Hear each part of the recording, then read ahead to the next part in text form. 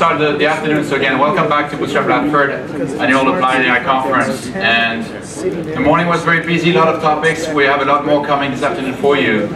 Um, but this is probably the, the panel that's been the most in the news as of late. So it's very appropriate. It's about the media, and the question really is going to be, is AI going to be destroying the media or really reinventing the media? So with that, I'll let you with an amazing panel. Um, thank you.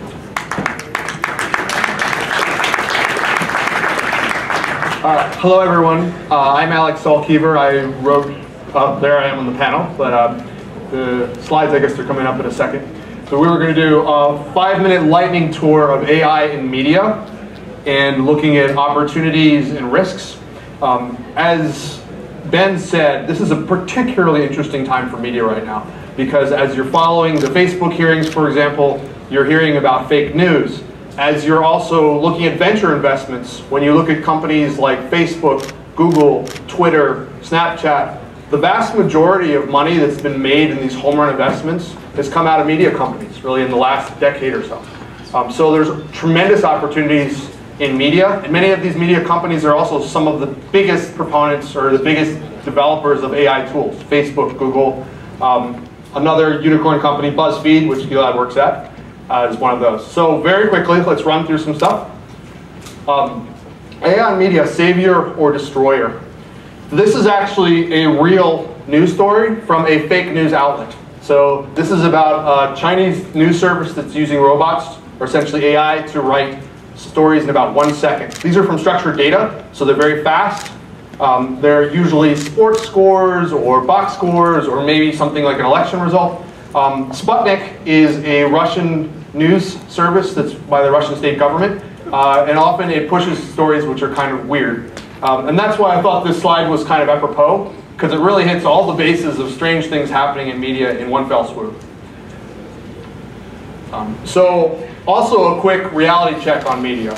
Um, how ready is media for AI, and what can AI actually do in media?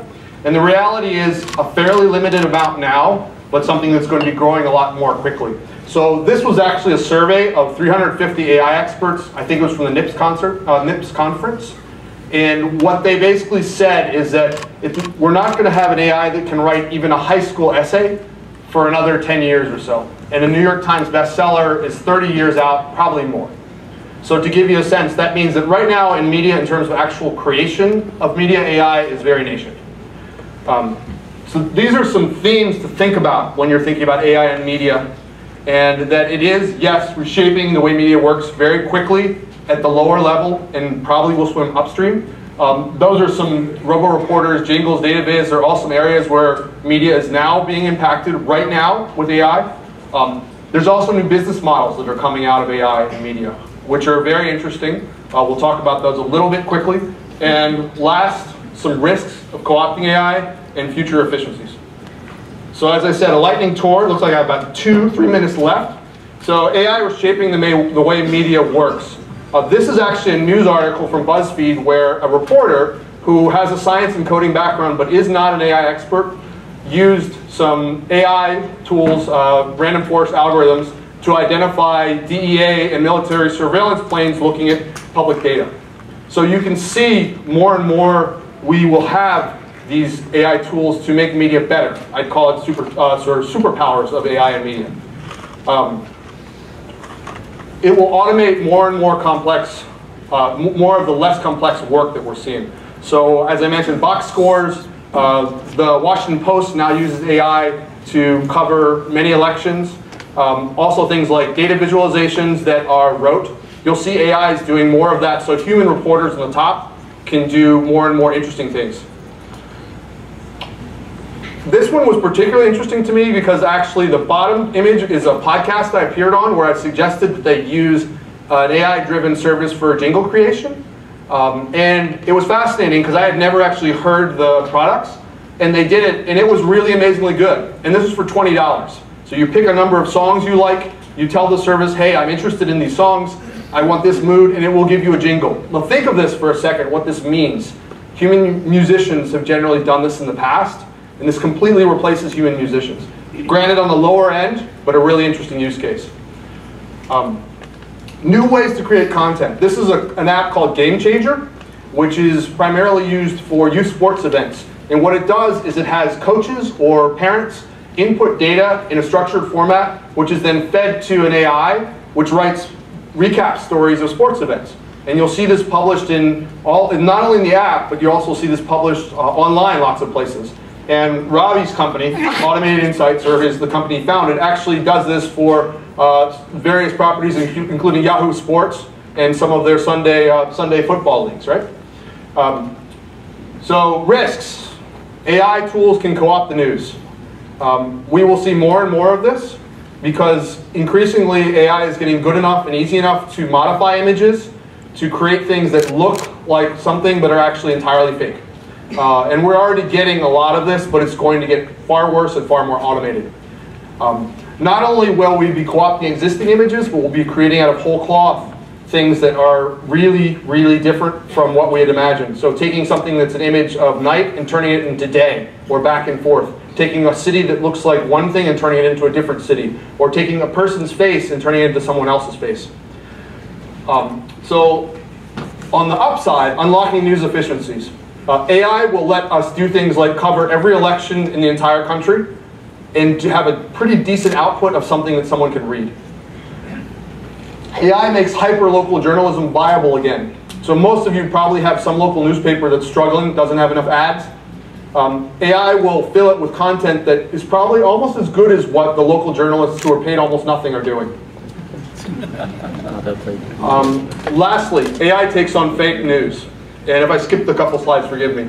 Um, this is a project that's coming out of the Stanford uh, Knight Fellowship Program. It's an amazing project that basically will fingerprint fake news using a bunch of AI algorithms on uh, you know, deep learning things that they've set up, as well as signatures of what a good news story looks like and a bad news story, number of interviews in the story, uh, length of the story, type of prose, also inbound links from Google, and it will ideally give us a rating on stories and help us understand with a confidence interval whether it's fake news or not. So that's the lightning tour. Um, if you have feedback on any of these thoughts, I'm around the conference. Please uh, feel free to give them to me. With that, I want to start the panel uh, by introducing my esteemed panelists. So we have Robbie Allen. Um, forgive me, I always blank on last names when I get on stage.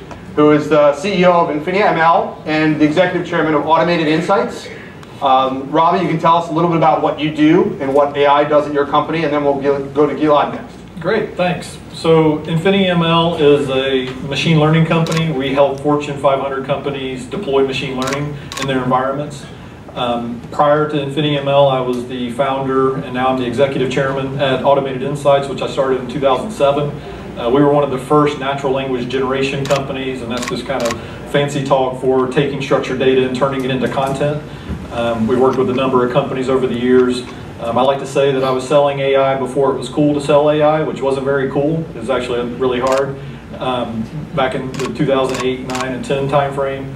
Um, back then, you tried to sell AI and people looked at you funny. Uh, four or five years later of autonomous cars and AlphaGo and all these other things, and you go in and, and sell, and people think it's not magical enough. So we've really kind of come all the way around on that. But uh, lots of great stuff to talk about with what we're doing in media. And Gilad is actually a former VC, a veteran data hacker, I would say, from some of your Medium posts, who now runs the data science, including the AI program inside of BuzzFeed. Yeah, so hey everyone, I'm Gilad. I lead the data science team at BuzzFeed, and I'm incredibly excited to be here. Um, what we do at BuzzFeed, we're a, a media company. Uh, we focus on entertainment, news. Uh, we have hundreds of millions of very dedicated users who read, who consume our content, both on our own platforms and across distributed platforms.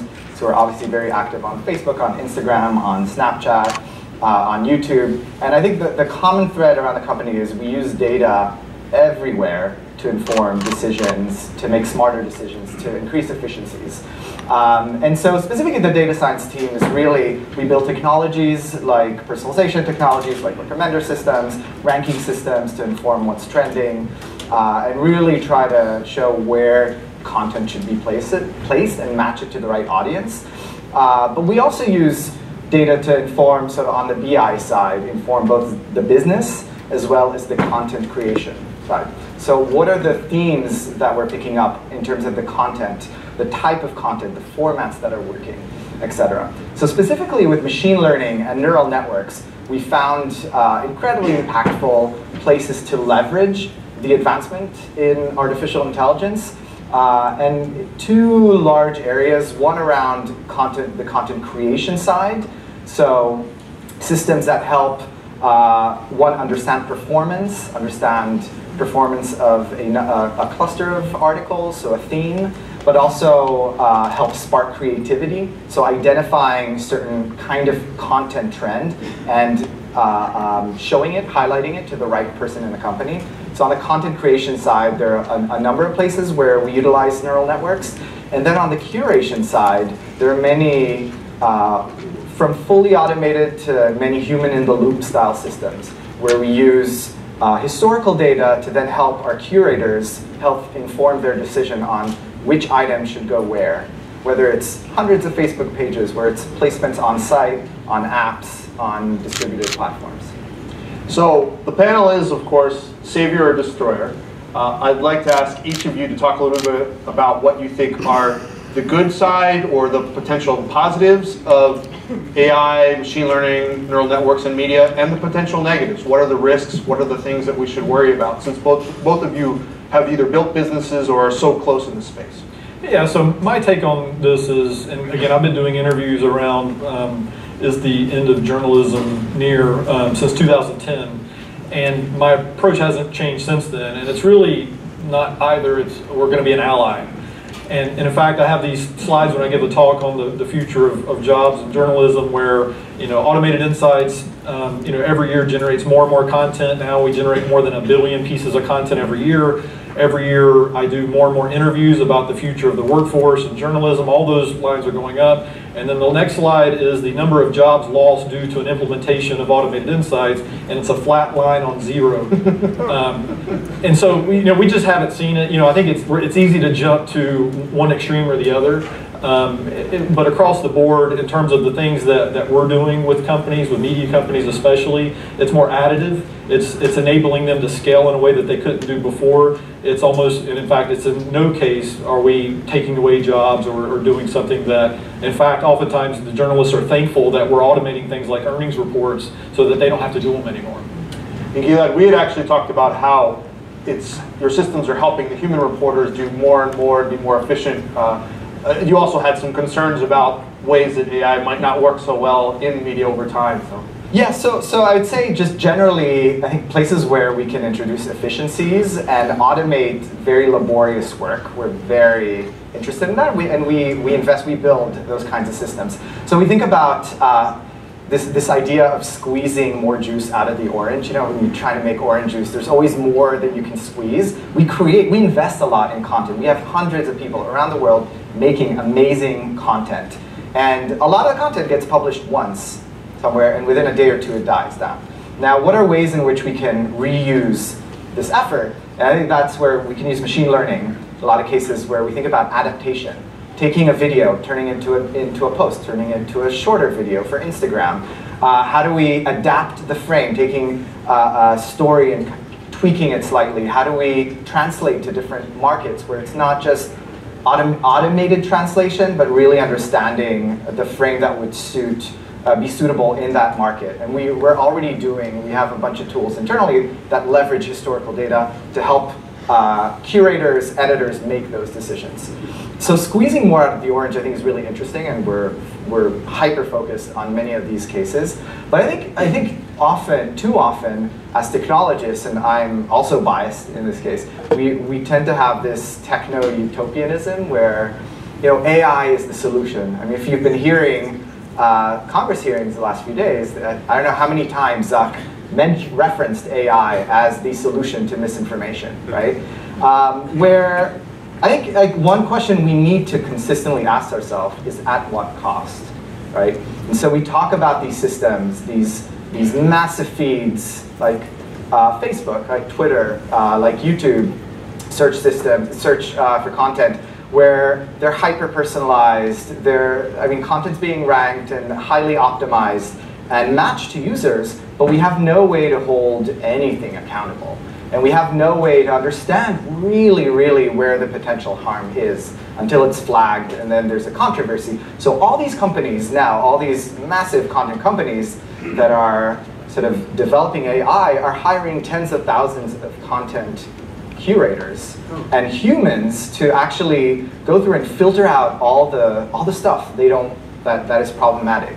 And so think of the, the this this, the consequence of this hyper-personalization and the scale, but now you're employing 20,000 uh, people in the Philippines, you're paying them almost nothing, and you're not accounting for the psychological harm that, they, that you may inflict on them by constantly uh, having to filter out and, and look at all this problematic content. So I think there, there are all these unintended consequences. We should be asking ourselves as we build these technologies, how do we um, how do we add ways to account for that? A question that's related to that, which I'd like to ask Robbie first and then Gilad second, is um, we should expect that all of the people who are creating news that they may want to use to hurt people or to manipulate things will that will have access to very good ML, very good AI tools. We're assuming state actors, things like that. And first part of the question is, are we actually ready to apply some sort of counter AI to stop that, to prevent media from essentially being degraded by these sorts of efforts? And secondly, um, you know, how would you frame that or how would you want to think about that? Since both of you think very deeply about how media is constructed, consumed, uh, and at the, the level of AI, how it works generating media or understanding media. Yeah, I mean, I think your question's you know mostly around fake news, right? And correct. because we can say fake news. Sure. at a certain level, you know, to me, it, it all comes down to the source, right? So in terms of the type of content that we're able to create for media companies, um, it only has an impact because of the distribution that's behind it. So again, working with the Associated Press and other large media outlets, and sure, they're able to distribute content. One of the unintended consequences that, that we found was when we started doing earnings reports for the AP, we were able to help them go from covering 200 companies a quarter to over 3,000 companies a quarter. That means that you know two to 3,000 companies every quarter are now getting covered in a way that they weren't before. The AP in Stanford did a study to figure out what was the impact of that on the financial markets. Turns out vo trading volumes went up significantly for all of those companies that previously weren't being covered. Just as soon as the AP started producing these financial earnings reports through us. Um, so there are all these sort of interesting things that even if we sat back and thought about it, I don't know if we'd necessarily come up with that as a potential unintended consequence. Again, a lot of these you can't necessarily see. That's why they're unintended. Um, you know, in terms of fake news, again, you know, there's going to be things that you know we can fight AI with AI. There's definitely some options there, but ultimately, you know, it, the, the trusted media sources will continue to be trusted, and they can take advantage of this in ways to help, not necessarily hurt. I'd say, I, I think like one thing as, as, a media company that has hundreds of millions of, of dedicated users, we have to be conscious of our power to draw attention to topics and know when not to use it. I think that's, we're seeing all these, uh, all this information warfare effectively take place and memes that uh, start on 4chan or Reddit and make their way to Twitter and then are amplified by media outlets. When should we not cover them? When should we not direct attention to them? I think that's, that's a core question, and the newsroom sort of battles with that a lot. What, isn't, what should we not cover? I think with, uh, with personalization, we've seen um, that, that one of the outcomes is, is increased polarization. Right, so if you constantly feed uh, you, certain users a point of view, whether it's fake or, or false or just sort of tainted, you can choose what part of the story to highlight and what part of the story to just not really talk about, not surface. Um, what happens to people's point of views when they're sort of day after day fed with a certain point of narrative? So you see this increased polarization. Uh, and the question is, what can you do? Well, what kind of uh, optimization uh, and, and what kind of functions would we want to optimize for? well, maybe not only click-through rates and, and uh, shares, uh, maybe we, would want to understand who are bridging factors within this network. Uh, some experiments that we've run in the newsroom at BuzzFeed uh, around uh, identifying multiple points of views around a prescient topic. We call it outside the bubble, and there's this module on the site that really tries to identify different points of views on a topic and highlight them, even if they're not necessarily you know, our own. Another question that relates to this to a certain degree is uh, fake news, obviously a big problem. Filter bubble, another problem, also driven by uh, AI, personalization. Uh, you know, how do we apply this inside of media, because uh, media is interested in this personalization, to really either eliminate or mitigate or extend filter bubbles so that we're exposing people to more things and not just echo chambering everything. I mean, I, I, I think a lot, a lot of it um, stems from uh, the fact that the experience of consuming information now happens in uh, a few sort of very large platforms. And I think the more control that media companies can have over that, uh, over that experience, uh, the, the, the better they are able to sort of affect and, and effectively bridge across these very polarized uh, networks. And what, what I mentioned with Outside the Bubble is one experiment that we thought was really interesting and it has been working nicely.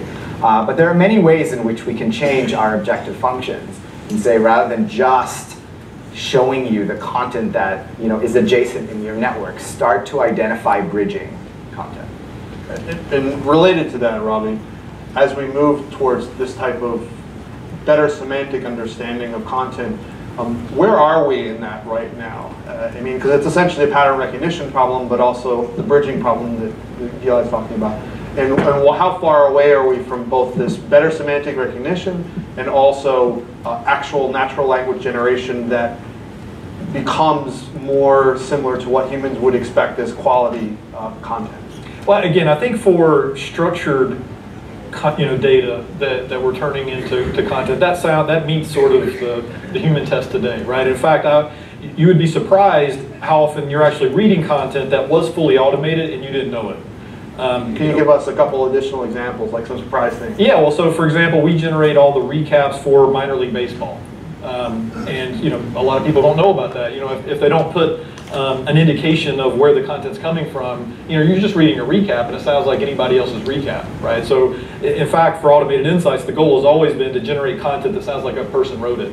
Now, that's for, you know, qualitative uh, or quantitative analysis, right? That's where the sort of state of the art with NLG is now, you know, if, as far as qualitative analysis, that's a whole other ballgame. And you actually had a slide that showed, you know, essays, um, you know, full-length articles, books that is much further out, right? So um, automated insights is more of an expert system, you know, using bits and pieces of machine learning. Um, my new company is doing machine learning, and then my research that I've been doing for my PhD is to try to combine machine learning with natural language generation. Why did I pick that as research topic is because we're not anywhere close to being able to achieve that now. And in fact, lots of examples that you may see where people try to generate, you know, a Harry Potter novel um, you know, it's just not anywhere close yet. And in fact, most of the current techniques we have, especially on the machine learning side, aren't close to being able to produce something um, that would pass the human test for qualitative analysis. Quantitative is pretty much solved, but qualitative is still going to be a ways out. So Gil, had a question that your earlier comments on how you're using machine learning and neural networks inside of your organization, it made me wonder if you had kind of a wish list of things that would help you be a better news org from a tool standpoint, from things you would either give to salespeople or marketers or reporters, what, what would be a few things on that wish list?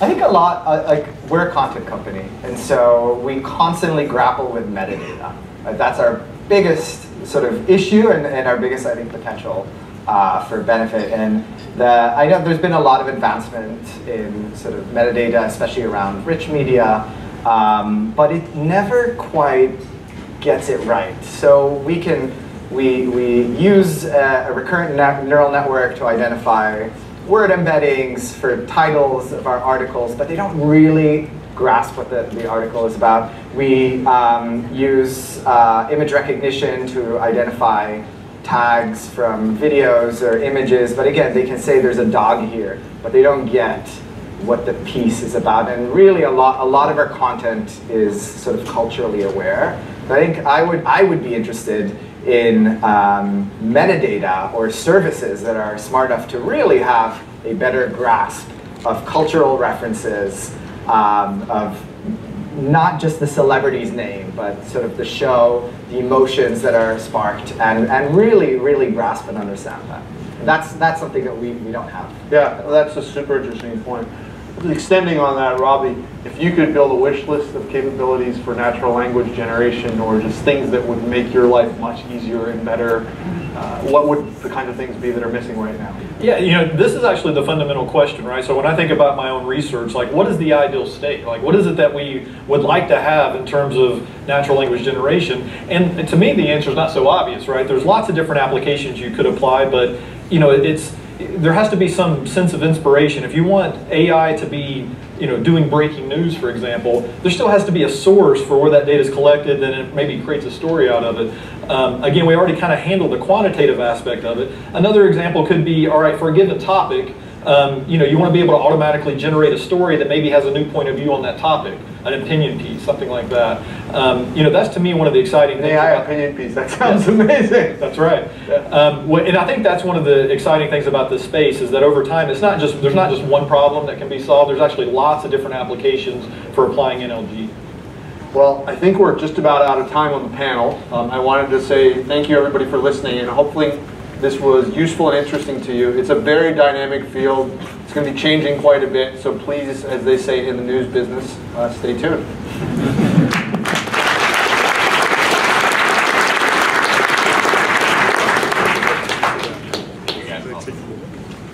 All right. Well, we're gonna go from the world of media creation um, to quantitative world of driving decisions using data in fintech. Um, and so, without any further ado, I'd like to introduce your panels on fintech. That will tell us: is it faster? Is it better?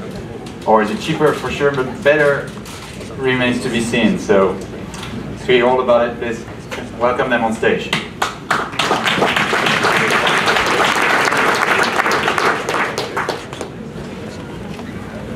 Hey everyone, um, welcome to this panel on uh, using AI in fintech. Um, we've got quite a diverse group of people on this panel, as in you know, people, some on the consumer side, some on the enterprise side, some on the you know just building models side, some more on uh, really understanding the data side. So we're going to cover a bit of ground. We'll we'll start with sort of bit broader opportunities, and then we'll try to get a little bit tactical uh, in terms of addressing some of the questions startups typically have when they come to market um, and sell to financial services companies. So um, the first thing I'll do just to help people understand where everyone's coming from today is, is ask everyone in the panel just to say how they're using AI machine learning, and we'll just use the term AI, everyone else does, um, how they're using AI in their business today. So we'll start with uh, Sangeeta here.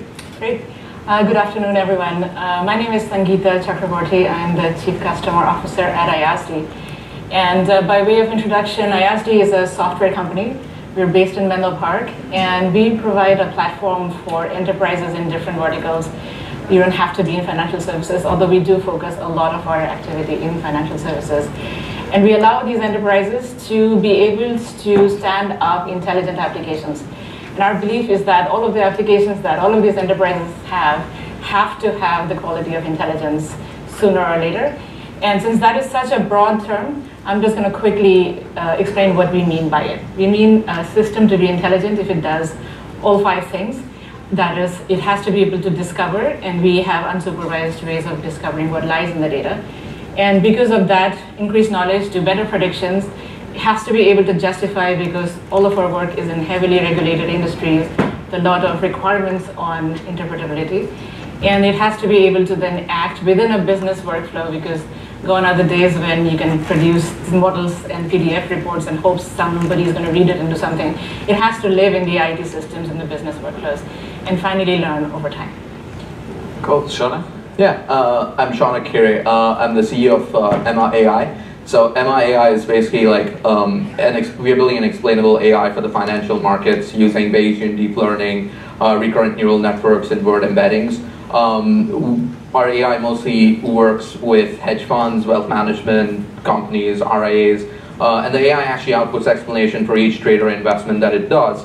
Uh, so you are bringing a level of interpretability to previously unexplainable black box quant models um, and we just expose it in product form via an API, and yeah, that's, uh, that's more or less what we do. So Ashish, we all know what Capital One does, but what in what do you do in Cap- at Capital One?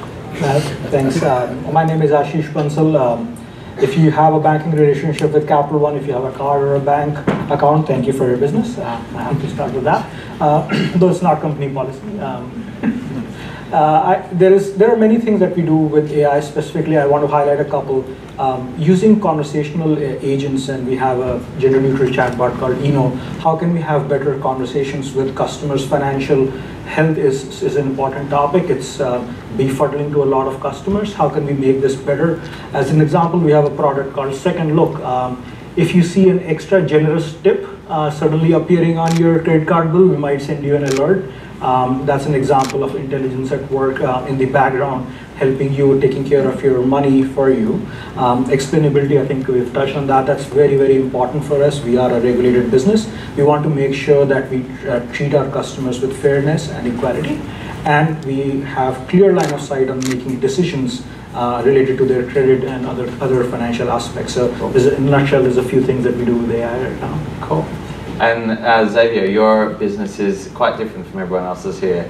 Right. And, uh, maybe you can just give us 30 seconds on it. Um, yes. So my name is Xavier Legros, and uh, I'm the VP of Product Development at Trusted Insight. And we're a small uh, venture capital firm and a social network as well for people that invest in uh, alternative assets. Uh, let me tell you why we have to use UI, AI. Um, if you look at the data from last year, for instance, uh, from PitchBook, and think of PitchBook as like a, an expensive uh, Crunchbase, I guess, but there were around like 14,000 deals that happened in 2017 in venture capital. And if you have to go through all of that data, and even if you go back and you say, you know, I'm just going to look at, you know, at uh, Series A or you know maybe C uh, kind of deals, uh, which is still a large number, you need to build some kind of AI to make sense of like you know all the different companies out there and to make sense of like you know all the different type of investments that you can make. Um, and this is what we're building and how we're using AI uh, at Trusted Insight to really make sense of you know the list of investment and companies that are requesting funds uh, and see if we can actually build patterns and prediction models on top of that. So, um, a lot of startups, when they first start uh, in, in any sort of application of machine learning, uh, they have a data bootstrapping problem. They need something to train their models. And when you don't have a lot of customers, you can't use their data. Um, I'd be interested in, in sort of talking through any examples of how you may have solved that. You know, some of you at the bigger companies, it was pretty straightforward. You got it from your customers.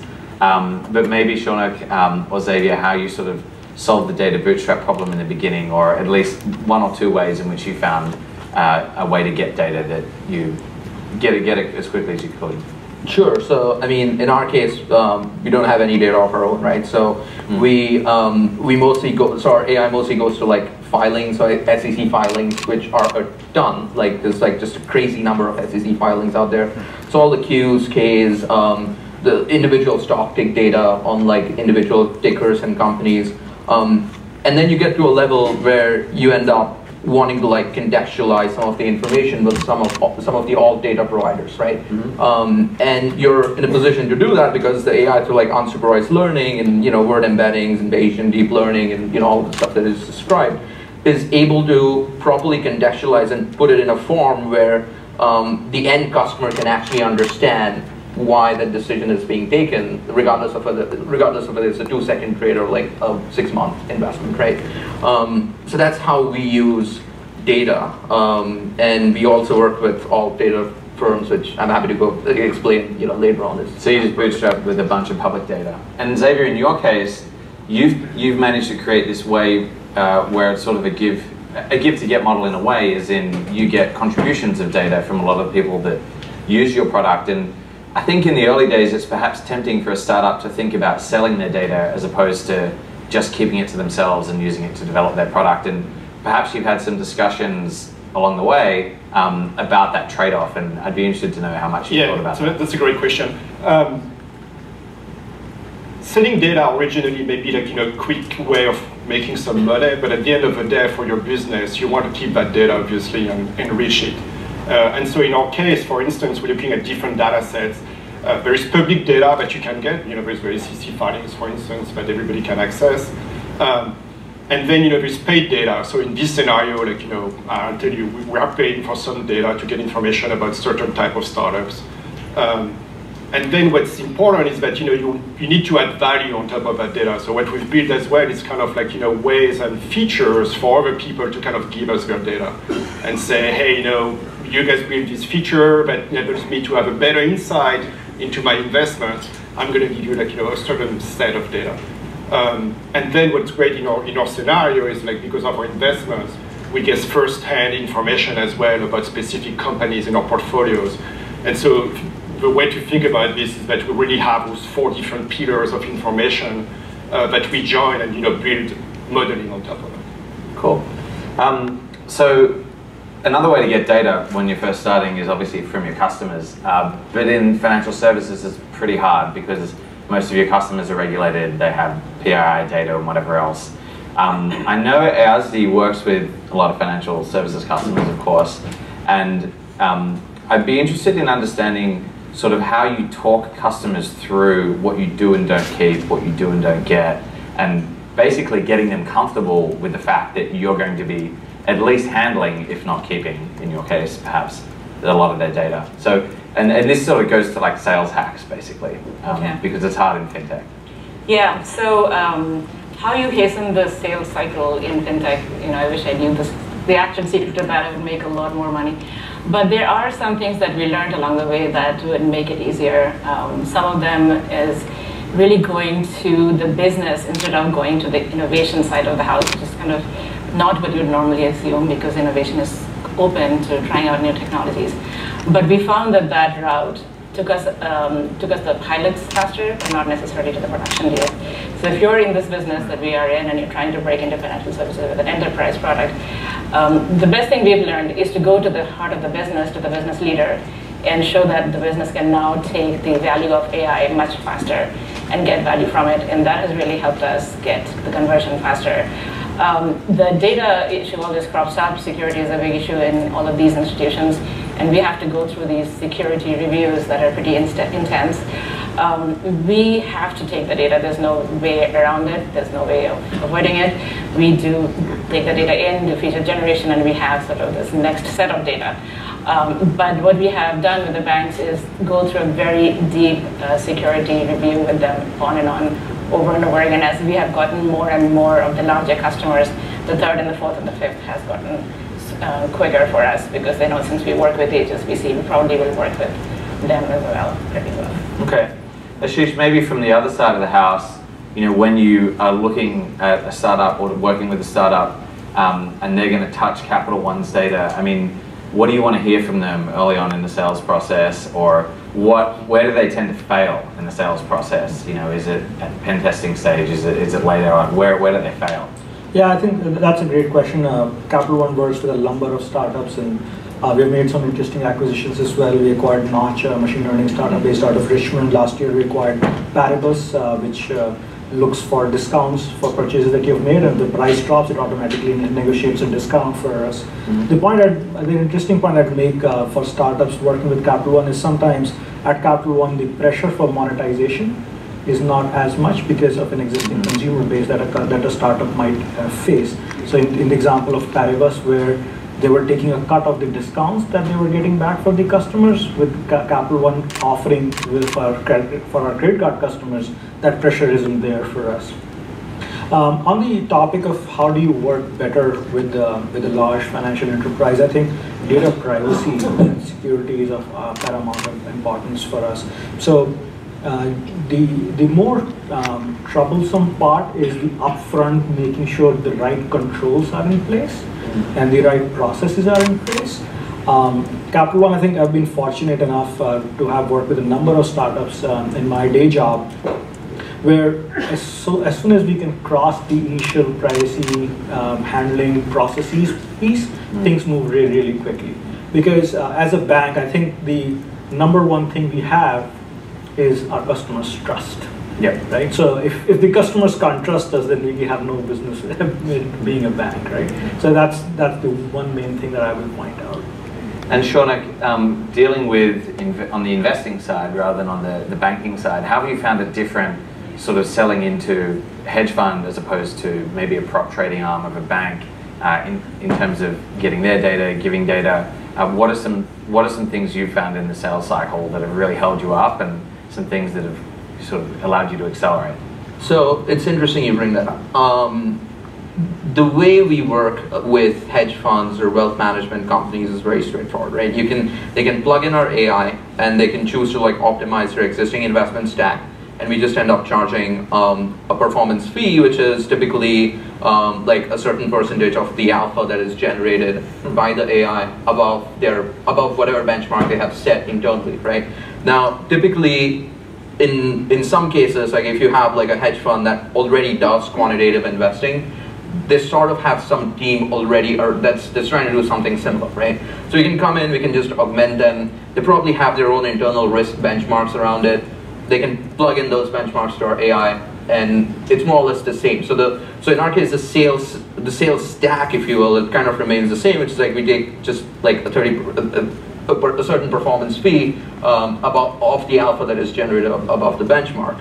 Um, the other bit that we do is because because our AI is explainable, especially in context of financial markets, and typically quantitative investment strategies don't have that layer of interpretability and all of that, um, we also have received a lot of like um, inbound requests from alt data providers, right? So typically you'll find that alt data providers that are selling into these hedge funds, into these, you know, uh, wealth managers, and you know, even someone into like someone like Capital One, right? Um, they want to be able to make their their own sales cycle better by bringing in a layer of interpretability to their products. Right. So effectively, they end up becoming our kind of like um, almost like a sub customer, right? Yeah. Um, and then that conversation is obviously a little different and it's structured more around like um, pricing and you know what kind of data is being explained and so on and so forth. So, so that interpretability is obviously a huge issue in fintech because if the SEC comes in, you've got to be able to answer their questions. Um, but practically, like for a startup uh, working, especially with neural mo based models or whatever else, it's it's very hard to understand sort of how far you should go in making your models decomposable and interpretable and documenting every part of that. Um, Ashish, maybe you could speak to this, or maybe Sangeeta, I'm not sure. Uh, what practices have you put in place so that while a model is being developed, whether it's in the model selection phase or whether it's in the training phase or whatever, what practices do you actually put in place to make sure that the end result is interpretable? Because once you've put all the ingredients in the blender, you can't like uncrack the egg, so to speak. Um, but how do you make sure from the beginning you know what's going in? It is a it is a challenge, especially for deep learning models. There's a couple of structural things that we have uh, put in place at Capital One. Mm-hmm. We have a, a, team called the Model Risk Office, uh, which has broad purview about across all models that are developed at Capital One, and they also own the regulatory relationship. So uh, being in a very regulated space, uh, there are certain types of models, for example, credit models or fraud models, no, less fraud but more credit models, that um, we need to explain that they are fair, uh, that they are not biased in, in any way, yeah. that they are explainable, uh, decisions have to be clear. And I think we owe it to our customers also that there is a line of sight into how a certain decision, whether to increase your credit line or to give you a credit card or a loan, was actually made. Um, so this model risk office, I think uh, some of our work has been to push um, the regulators to adopt more complicated models it, itself, because uh, by and large, um, it might sound funny, but a large variety of our models are linear models just because of the regulatory challenges, not because you can't use a, more, a better model. So influencing some of the regulatory environments and working with them to, to explain these models, so using boosted models or trees and mm. things like that, ensembles work, work better. And the second part is um, looking at new ways of testing the outputs of a model. And in some cases, uh, being creative with what data do you frame it? Because if you treat a black box and say, okay, these are the various cases that I plug in and these are the outputs, that's one way of assuring that the outputs are fair, right? So there's a lot of work we do in generating unique sets that try and break the model itself, right? Uh, try to sneak um, a biased outcome from it. Uh, learning a little bit from some of the work that's been done in the uh, GAN world, in the generative adversarial work, trying to use that kind of approach internally to see are there hidden blind spots that like we don't know about after we've trained the model. Um, as we were talking earlier, the model also learns the bias um, because the, if the bias is in the inherent data used to train it. So there's a couple of things that we do there. Um, so we have to get to data privacy. Um, and I think we should, I think what would be cool to hear is how has how have customer attitudes towards data privacy changed? Mm-hmm. Um, and Xavier, perhaps we can start with you because you know your customers on one side are managers of funds like people like me, and you you have them submit performance data and whatever else, and in return you connect them to significant sources of capital. Um, what are their concerns, and what are some typical like the, the top one or two data privacy issues that come up for them? Um, so in our case, it's interesting because we, we already have two types of customers. Yeah. Um, the first type of customers will come back to us and say, hey, you know what, I'm okay to give you data as long as I get something back in return. And the privacy there, they're like, you know, they're okay to share even with like some of their peers um, some of that information as long as again, you know, like we give something back in return. Um, and this may sound strange in light of like some of the recent events, but you know, but on the other side, you know, if you're talking with like you know a larger VC firm, or you know you have somebody who has like you know a portfolio that is doing very well and doesn't want to share some of those contacts, like the onus obviously is on us to make sure that this information is kept securely. Um, but the part that is very interesting there is really like you know, what do you do like you know to protect that information? Because when you start building modeling on top of private information, you know, you have to protect the input, but you have to protect the output, but as well the model by itself and all the different layers in between that you're building. Um, and those are some of the debug tools that probably are still like, you know, being developed that are very, very difficult, right? Like when do you reach out and find out that somebody messed up your model?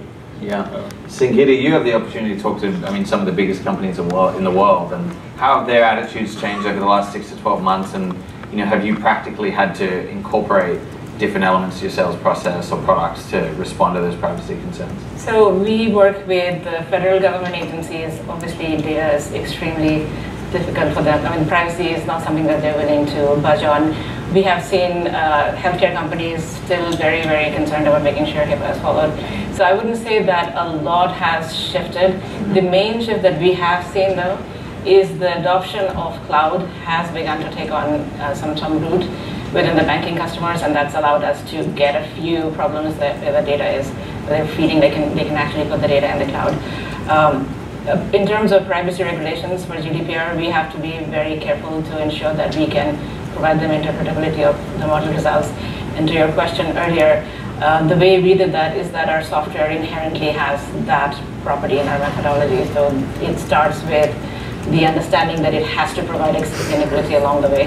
And so that's, that's what we do at the heart of our software. So I'll just finish on, um, on a question about what you would be doing if you weren't doing um, what you're doing in fintech today. As in, there's so many opportunities to use machine learning in fintech, whether it's to revamp insurance or consumer applications or lending or wealth management or even just ancillary CFO services, um, expense management, whatever else. There's there's a lot of cool stuff out there and a lot of cool opportunities. Obviously, in fintech, it's a huge challenge to get the data in the first place. But what would you be working on if you weren't working on your current company?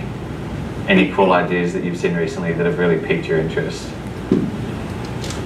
Go, yeah. Me next. Okay, so um, if I wasn't doing what I'm doing, and I'm, i love what I'm doing, so I we all love what we're doing. Yeah. so, just to be clear, um, I'm seeing this interesting prospect that really is an idea that is from um, from a blog that our founder wrote, which is uh, as he is on the board of a lot of technical uh, boards these large banks, right, HSBC, Citibank, and so on. The, the concept of using data not as sort of a byproduct of what we do, but to treat data as a product and have product managers that manage your data from beginning to end, like the life cycle.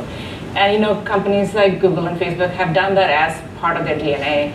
But it's also business enterprises' job, I think, to begin to think about that because so much more can be driven out of data if you treat it. Yeah, that's, inter- that's an interesting answer because it's, a, it's about a function that you would maybe explore being part of in an organization.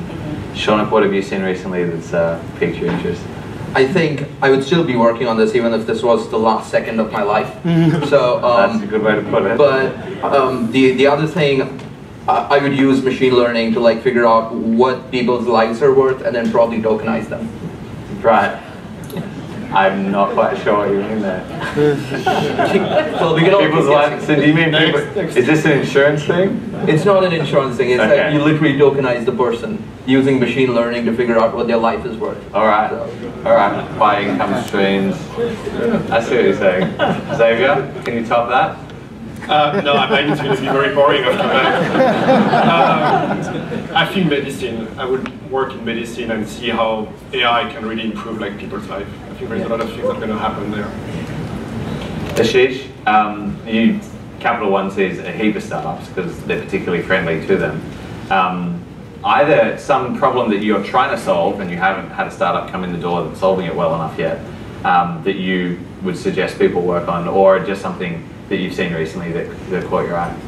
Um, I feel that um, if you look at the global market, not just the US market, access to financial products. Access to capital for all levels of society is a challenging, uh, is, a, is a challenge. And AI can actually allow you to scale solutions that otherwise are not possible. If you imagine doing a credit, running a credit bureau in a country like India or China when pushing a billion people through it, uh, that will probably strain even the best financial bureaus. And then building access for where income is not at the same level or not tracked at the same level, where taxation rules are different. Um, I would love to do something there to allow, to bring, I think, extend this concept of fairness beyond just a model being fair, but bringing access to society for financial products. It's a very important part of people's lives. So I wish we could do something. Yeah, for what it's worth, that's what's most exciting about uh, applying machine learning to fintech for me, which is that you have so much more data these days to be able to price risks that people just couldn't price before. Um, and the, the societal effect of that is services weren't provided to parts of society. Um, so that's maybe a nice way to finish. Um, hopefully you've got one or two uh, tips here today. Um, please thank our panelists for sharing what they learned.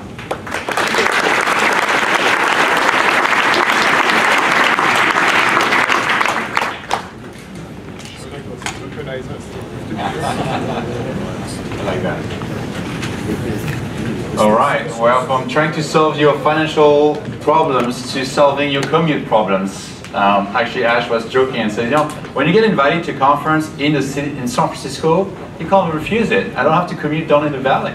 And I said, well, you know, Silicon Valley, frankly, is becoming bipolar. It's really hard to move people. Like when they are in the south, they want to stay in the south, and when in the city, they don't want to go anywhere else. So the truth is, we have a mobility problem. Uh, even in the city, I see scooters. I was on my first scooters recently and on bicycles, and I kind of love it. At the same time, it's super risky. Uh, externalities left and right.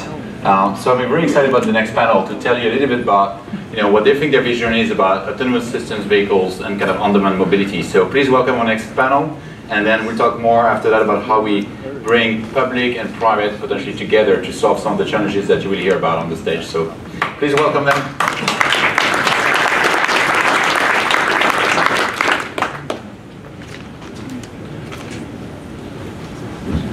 Good afternoon. Uh, can you hear me okay? Great.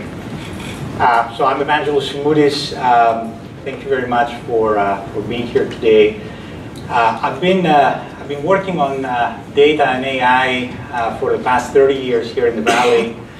Um, and both as an entrepreneur, as, a, as an executive, corporate executive, and for the past 20 years as a, as a venture investor. And uh, in addition to uh, what we're going to talk about today, I uh, have recently published a book on the called "The Big Data Opportunity in Our Driverless Future," and in, you can read some of my more newer thoughts about uh, transportation and mobility in on my blog. Uh, my firm, uh, Synapse Partners, um, invests exclusively in early stage companies that develop enterprise applications that combine data uh, with uh, data exploitation technology, primarily AI-based. And um, we create many of our investment uh, um, by working uh, with a number of corporate partners, large corporations from uh, three industries, including the transportation and automotive industry. Now, next generation mobility is one of our focus uh, investment areas. Uh, initially, we made a number of investments relating to the exploitation of data uh, for the autonomous vehicle. In other words, how to use data to enable autonomy. Uh, companies like uh, Renovo, uh, Metamoto in the simulation space, uh, Understand.ai in the uh, labeling space. Following the, the publication of, of my book, we've been, we've been focusing a lot more on investment opportunities relating to data and AI for next generation uh, mobility and the insights that can be created from the exploitation of the data that is particularly generated from, from fleet-based uh, mobility of, of people and, and goods. And we've made a, a number of, uh, of investments in that area uh, with companies like uh, Safegraph, um, Astound, and, and Paxara. Now, companies uh, are moving uh, from autonomous vehicle demonstration to, to pilot deployments of such vehicles, both for human transportation as well as transportation of, uh, of goods. The, uh, the scope and range of these uh, applications for, and for the pilots will continue to expand from more constrained to more dynamic uh, environments. Uh, for example, uh, campus mobility and movement of, of goods in, in constrained settings will come way before open-ended passenger ride-hailing. Now, the pilot use of, of autonomous vehicles for, for ride-hailing, ride-sharing, and goods delivery will continue to, to grow uh, globally. And early in the next decade, and certainly by 2025, uh, we expect that several companies uh, will be generating revenue by employing um, autonomous vehicles that, that offer such services. Now, the, the transition from human-driven to autonomous vehicles will require companies offering uh, on-demand mobility services to actively manage the autonomous vehicle fleets they, they utilize. Uh, these fleets may be owned by, by these operators, as, as GM uh, appears to be doing right now, and even, and even Waymo, uh, or they will be owned by other companies, much like uh, aircraft today is are leased by the airlines that, that fly them. Now, fleet, fleet operators uh, initially may have no, no option but, but owning this, this fleet, but eventually we will see new companies that are uh, dealing with various aspects of this uh, new value chain uh, that, is, that is being created. Fleet operators of on-demand mobility services uh, uh, of on-demand mobility services companies must be more than ride coordinators. They must become fully responsible for the customer's overall transportation experience. And we're seeing a little bit of that as, as companies like um, Uber are, are getting into bike sharing. Uh, they must be uh, responsible for the, the, vehicle, the vehicle's operating costs and the overall passenger uh, safety.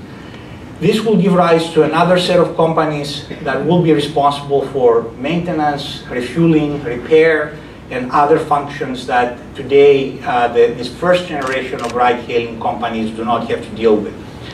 Uh, there are several implications um, that are arising from the use of autonomous vehicles in, in fleet-based mobility, from um, uh, service, safety, and price as being, being differentiators, uh, the, uh, the, the, importance of the, the first and last 10 feet, as I call it, in the, in the overall experience being a lot more important than the 10 miles in between. Uh, data and AI uh, will become key differentiators and monetizers for, for on-demand mobility. Uh, regulation and education will become very necessary as we're looking for, um, for the right business models. Uh, we will see new ecosystems with, uh, with new dynamics in terms of partnerships, investments, and acquisitions. uh, and a new value chain will, will emerge uh, that is much more similar to what we see today in the airline industry than what we have gotten used to in these early days of, of ride, ride sharing, ride hailing, and other, and other mobility services. So we want to explore uh, some of these issues, some of these themes with our two uh, distinguished panelists. So I'll, I'll have John and uh, Nadine. We're very happy to, to have them here tell us a little bit about themselves before we move into the uh, questions. Sure. Hi, I'm John Absmeier, and I lead the uh, ADAS and autonomous driving uh, program for Samsung. Um, I am a car guy. I spent uh, more than two decades in the automotive industry working on all the technologies that are just now starting to see the light of day. Things like uh, the EV1 from Who Killed the Electric Car. Uh, that was one of the first things I worked on. Uh, worked on things like telematics and connectivity, and been working on ADAS and autonomous driving for the last 12 years or so. but really happy to be here. Thanks. Hi, Nadeem Sheikh with Lyft. I'm responsible for defining and executing Lyft's roadmap to scale autonomous cars on our network. Um, so I've been with the company about a year or so. Uh, prior to that, I spent about seven years working kind of the intersection of mobility, technology, and energy. I spent seven years at a company called Opower, which we sold to Oracle a few years ago, where I was an executive team and ran around U.S. business. Prior to that, I spent about four years in McKinsey, where I led most of our work on autonomous mobility, electric vehicles, and car sharing. Um, prior to that, I worked at Lufthansa and was a diplomat for the German Foreign Service. So I'm very interested in the intersection of technology, communities, and then you know basically scaling a lot of this infrastructure we need to accomplish what Evangelos put on the board. Uh, John, let me actually uh, start with a, with you and a question actually to both of you, but let me start with you. Is what what what do you think is going to make consumers feel safe and comfortable, and I don't want to deal with uh, the, the recent uh, uh, incidents uh, that uh, companies had, but I'm, I'm looking at what's going to make them feel comfortable getting to the vehicle consistently, if such vehicles actually pay money for, for that experience. Well, I, I think, firstly, the focus of ADAS and autonomous driving has to be different than what it's been. I think it's been viewed as a gold rush for uh, for business, right? To create new models and improve costs and eliminate you know drivers and so on. Um, and re in reality, the the big benefit and, and, the social impact is around safety and um, eliminating in the future fatalities. And so if we approach it that way, it starts with the culture of the companies that are participating. It starts with process and most certainly standards. Uh, and I think, uh, you know, not necessarily regulating, but having standards and certifying to standards and having that data and information and process uh, be more visible to the public. And of course, educating the public are all things that, uh, that need to happen. I think people, a lot of people don't even know what the safety systems in their cars do today. They don't know how to use them, they don't know why they're there, or what they do.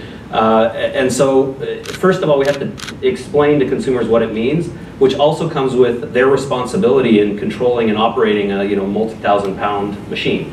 So uh, a lot of that has to do with education and of course, like I said before, the culture, the process, and standards. Yeah, I couldn't agree more with what John said. We probably look at autonomy slightly differently than Samsung might, and that as a supplier to the automotive industry, you're also looking at multiple levels of autonomy. Mm-hmm. Uh, for us, we're really interested in scaling what's called level four autonomous vehicles, so ones that could op operate driverlessly in certain scenarios. So for us, it's, it's a little bit more of a technological leap that we need to make, um, but we also understand exactly what we're trying to solve for in terms of the consumer. It's less about preparing them to take control back from the car and more about getting them comfortable that the car and the network that's operating it is doing so with their safety first and foremost in mind. So for us, it's really about, frankly, the education process is about also exposing people to the technology. Um, you know, we're starting to run pilots across the United States um, where we're, of course, there are safety drivers and engineers in the car. We're making sure that they're properly trained and have the right tools to make sure that the ride is safe. But we also want to put people in the car and use that as an opportunity to actually educate them about how the technology works, what are the benefits, what are the things that we're still working on, what, how is it going to improve communities.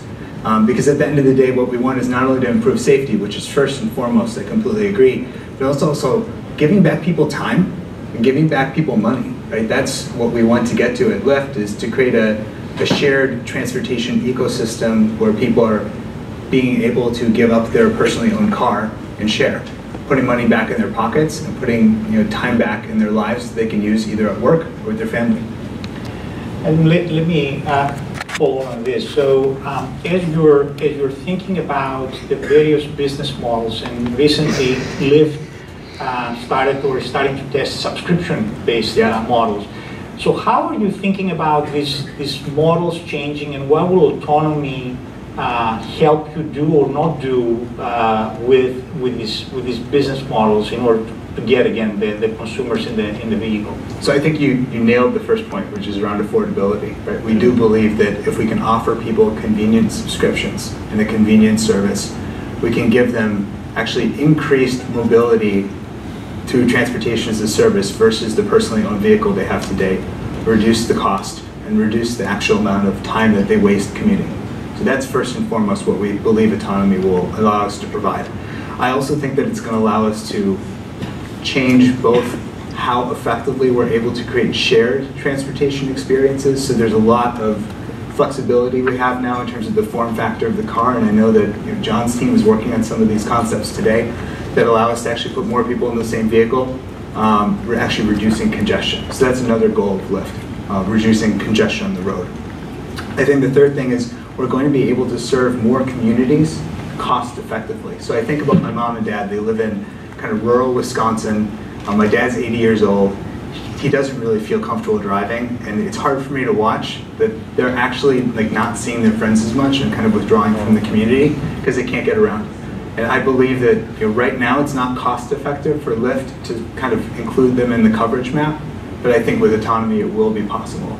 And does this mean, I'm, I'm sorry to interrupt you, Yeah, does this mean then that uh, because of autonomy, you will be testing even business models that, that you're not able to test today because you're, you're using other people's vehicles? So for example, um, advertising-driven models or, or something, something else where you will be, there will be some exchange in order to, to have that lower price and, and that affordability. I think there's one aspect, which is there are some degrees of freedom that we might have in the future, in part enabled by autonomy, in part enabled by the fact that the car might look different, that might unlock more creativity for us. Um, I probably shouldn't go into too much specifics there, but also the fundamental cost structure of the car is going to change, right, in terms of operating a, a shared electric um, autonomous car once it's scaled up. And I think as that cost structure goes down, the amount of people that we can affordably serve goes up.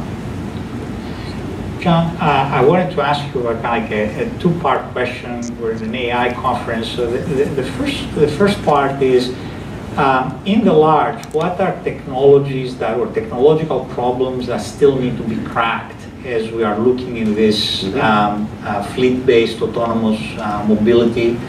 Um, and, and the second part, since we are at an AI conference, which of these are AI uh, dependent? Which Sure. are problems where AI can make a big dent? I was gonna, there's a lot, there's still a lot of challenges, for sure. But if I focus in on three for the purpose of this conference, it would be compute, sensors, and of course, AI and algorithms. Um, I think in terms of compute, the amount required uh, and the power consumption that today's compute solutions offer, or processor solutions, uh, are not scalable and, and not realistic to put in a, a, an embedded device, not realistic to put in a car that has to generate electricity or that has to draw from a battery to, to, to power those things. Um, so we have to get more efficient, much, much higher power processing capability. And I think that's coming. I think there'll be a step change in the next one to two years um, in, in that space. Um, secondly, sensors. Um, today, the sensors that we have are still not even as good as a human. Uh, you know, a human roughly takes uh, somewhere between one and a half and two seconds from the time you perceive something to the time the car actually takes action. So it's like a quarter of a second to a half a second for you to detect it. It's a, a quarter of a second to three quarters of a second to, for you to actually react. And then it's the car, another half a second or so for you know the fluid from the brake pedal to push to the caliper and squeeze the, the, the brake disc. Um, so you know if, if, if we can improve the speed and efficiency of processing, if we can bring in more rich and more re- uh, higher resolution and higher speed sensor data, then we can train algorithms with better data that uh, will be able to react better. So um, the second part of your question on the AI and the algorithms part, um, most of the fo- focus over the past several years has been on uh, detection and classification. Um, and, it's not solved, I wouldn't say, because sensors are still not good enough. But as we get better cameras and as we get higher resolution um, sensors that actually uh, interrogate the environment, things like uh, imaging radar and uh, lidar and so on, um, we'll be able to, uh, to get better data faster and, and get more data that we can train the algorithms with and create more efficient algorithms. Uh, the, the problems of uh, detection and classification are coming along. Uh, but the other areas that are definitely need to have a lot more focus are, are on characterization. In other words, um, you know, characterizing the other uh, agents in the environment and not treating them as obstacles. Today's autonomous cars and the, the systems are really just they see a person or they see another car and it's either stop or you know don't. But uh, but basically they need to characterize those agents and then actually predict the intention of those agents. So in other words, if, if you treat it as an obstacle, it, you don't, you're not thinking about what it's going to do next. If it's a little kid on a, on a curb with a skateboard, it obviously has much, much different uh, uh, intentions than somebody sitting on the ground with their back against the wall next to the curb. So how do, how do we make those judgments and then act on them? So then the, the decision part uh, still is, is largely unresolved. And actually, uh, you know, having dynamic planning of, of what to do based on what we predict those uh, agents are going to do. Um, we talk a lot about data, so uh, Nadeem, I wanted to, to ask you what type of, um, what kind of partnerships, what kind of ecosystems do you see being created uh, as a result of, of the increased um, amount of data and types of data that, that we will see? I mean, you guys capture data from based on these rides and obviously the profiles of, of your users, but now you'll have a lot more capability in these vehicles that are autonomous that you can control the uh, the inside of the the experience, the overall experience. So talk a little bit about that. So I mean, at the highest level, I think there are new partnerships we need to forge to be able to effectively offload data off the car. So you're thinking about how do we best take advantage of 5G? How do we just you know build partnerships with companies that can help us decide what data actually should come off the car um, versus not, and what time frame, right? So that's I think one problem that we're wrestling with at the moment, which I think the whole industry is frankly wrestling with. You know, pulling hard drives every five hours is not a scalable solution uh, for autonomy. The second is really around storage. Um, and you're correct, right? We are gathering a lot of data as part of the operation of our network today. But you're probably talking about two, three, four orders of magnitude increase the amount of data that we will have to store and gather, at least during the initial stages of scaling autonomy. And the question is again, who's best positioned to help industry do that? I think there's going to be some interesting partnerships there. I think the last thing, which actually might come back to the discussion we had around safety, is once we've analyzed data, and we've identified, let's say, a unique set of scenarios that we observed while we were driving our cars, whether they're autonomous cars or cars that have drivers on the road.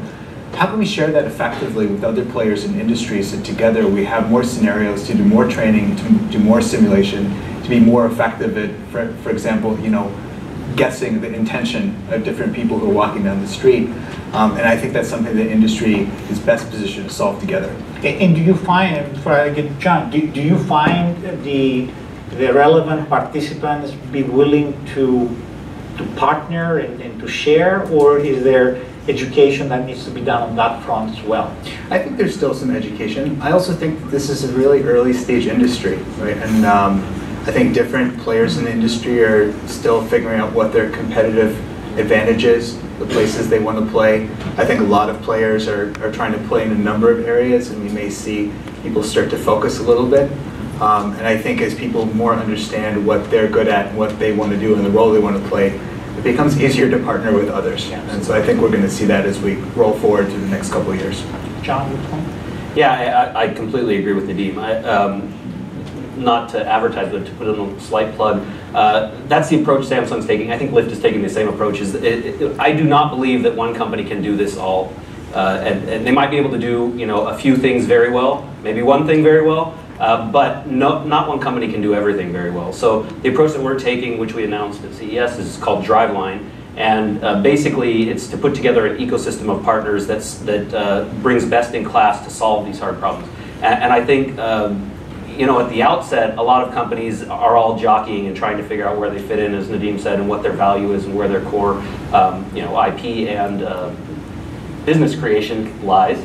Uh, but as that becomes more clear and as partnerships start to form, I think uh, it, it's obvious that uh, companies have to work together to make this a reality. Otherwise, it, it's not going to work. And what kind of timeline are you thinking about here? Well, so for partnerships or for, for business to actually come to fruition? Well, I, I would say initially for partnerships, but for meaningful partnerships, not bargaining ones. Yeah, sure. So for meaningful partnerships, I think there's, of course, technology, innovation, and creation. And those are, I think, already bearing fruit for a lot of companies. Um, and, and that's bringing in you know, partners that have some core piece of, of technology or, or understanding uh, or innovative approach to, to solve problems. Um, and I think those, those relationships and partnerships are already are bearing fruit. Um, but then there's the other end of the spectrum when it comes to market. And I think that we're, we're starting to see uh, now uh, level three, and I know Lyft is focused more on level four and, and up, but um, trying to use the technology for even safety applications like level two and level three, they're, they're bearing business fruit today, but on a very small scale. Penetration is still less than 10% of the car fleet. Um, I think last, last question actually I was asking both of you is eh, with, with fleet-based um, uh, mobility, on-demand mobility, um, the, the role of cities is starting to change and, and maybe even the, the role of public transportation, uh, certain types of public transportation as we know it today. Uh, how are you guys thinking about it? How are you thinking? Yeah, yeah, actually I will start with you, yeah. So from our point of view, if we cannot make autonomy and the introduction of autonomous technology into Lyft also simultaneously make public transit stronger in America, we have not succeeded. Um, so we are very focused as a company on trying to make sure that we are supporting public transit. So in San Francisco today, for example, 25% of all Lyft rides begin or end at a public transit um, connection point. So we know that people are already using Lyft, and I'm sure Uber as well, to get to and from public transit. I believe that, especially things like rail, we can be very effective at driving even more passenger to um, to rail lines because we can make it very easy to get to the station and get get back. But right now, I think that a lot of people might actually get rid of a car because they can take a Lyft or a Lyft line to the Caltrain station and get down to their job and they're actually getting off the freeway. Um, so that's really important to us. I think the second thing that's really important to us is that if we do have people that choose to not use public transit and instead want to use Lyft, that we're making sure that those rides are shared. Um, so you know, roughly 50% of our rides here in San Francisco are shared rides in terms of total trip volume. We would love to get that much, much higher. You know, it's good for our business, it's good for the environment, it's good for congestion, it's good for cities. Um, so those are some of the areas where I feel like we can support public transit. We want to make sure that it's really easy for consumers and we certainly do not want to replace it. Uh, just one quick thing to add. I, I think it has to be a mixed model, which I think was Nadeem was referring to. Uh, that, you know, there's 250 million light vehicles on the roads out there, and, and, most of them are individually owned.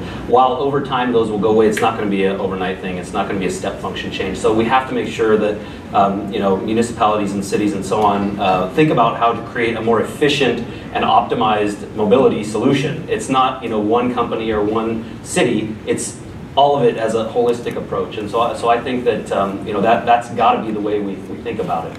And do you do you see that changing um, from geography to geography? I mean, are you guys Absolutely. thinking about it differently, say in Europe versus Asia versus North it is America? different. Yeah. It is different. I, I, don't think it's a one size fits all approach. Um, uh, we're not thinking about the end service uh, necessarily, uh, except for trying to create and, and, plan for the technologies that uh, we provide to the industry and companies like Lyft and so on. Um, but, uh, but, but that's, that's the, the, the best way I think uh, that we can solve it globally is look at um, for the particular use case. Yeah, I give the same thing. Absolutely. Okay, well, thank you very much and uh, please help me uh, thank them for their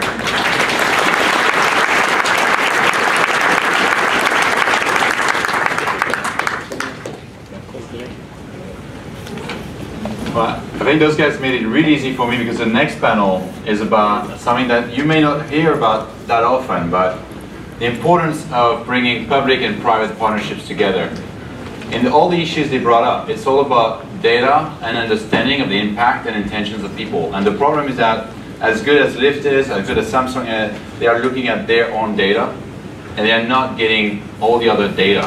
And I think cities, as you've heard, have to play a role and, and the people around the cities that can empower them to look at all that data uh, in an holistic fashion uh, can only be brought through a different kind of structure. And so I think it's my pleasure to invite on stage the next panel, uh, which is also an all-women panel as it, as it happens, which is great. but, uh, but please welcome them. I'm talking about public-private partnership. Thank you. All? Just to be clear. Well, happy to be part of the family. Good afternoon, everyone. Uh, my name is Jane Macfarlane. Um, I want to introduce myself first by saying I got my PhD in AI in 1989, so I'm, I'm uh, you know, dating myself. Thank you. and I watched us go through the AI winter, and, um, and I'm very excited that we're back into the AI resurgence, um, fueled by the computational power that we have in the data and the unprecedented data that we have that is, you know, fueling this ex exciting uh, technology. And the pace of technology is really staggering at this point and very difficult to keep up on. My current focus is in transportation, which uh, I wish I'd had a chance to listen to the panel before. Um, transportation is a critical infrastructure that's kind of gone unloved by technology for a long time, and it's getting disrupted right now by the Ubers and Lyfts and the apps that you actually have on your phone. It's a complex system of systems, it's nonlinear, and it's transforming right now. So um, how many of you today consulted your app before you came to this location to find out where you were, where going, the route, the mode, all of us do now, right? And if you think about who's actually controlling traffic out there, it's those apps. And the governments are just kind of pulling on those ramp meters best they can, but it's really the routing algorithms that are directing all this traffic. And they have all the data that's telling us where everybody is. So it's a very interesting kind of dichotomy here. Um, it's important to understand that it's a critical infrastructure and it impacts every single one of you in this room. It impacts your business from the logistics perspective, employee productivity, employee retention in urban environments, your quality of life, if you're sitting an hour commute home in the congested arterials that we experience now. It's a very important part of our ecosystem as human beings and society. So um, to, is my thesis that to resolve this transformation to a place that is good for all, that we're going to have to have public-private partnerships where we share data across from private industry into a neutral place that we can commingle data, share data, and, and not destroy business models, and get it to government and, and public so that we can make good choices about our cities and make them places that we all want to live in. Um, which brings us to the topic of this panel. It's about policy. Um, this past month has been difficult for the tech community. Uh, we've had two fatalities due to autonomous vehicles. Um, deeply saddened by that. Um, not to equate the two, we've also had two days of congressional hearings around the Facebook situation. So um, we have regulation coming, there's no question.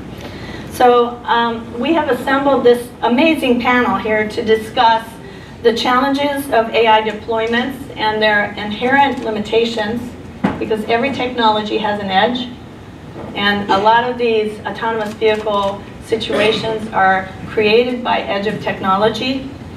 And then how do we um, help policymakers learn about this very complex environment and this complex ecosystem that we're building how do we educate them and stay abreast? It's hard for us as technologists even to stay abreast of all this technology that's changing so quickly.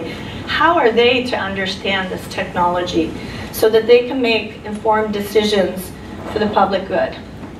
So um, I'd like to thank you um, for coming today, and I'll let you introduce yourself and uh, give a little uh, bit about your experience with AI, and then I'll have some couple of questions. The questions will focus again on those two things.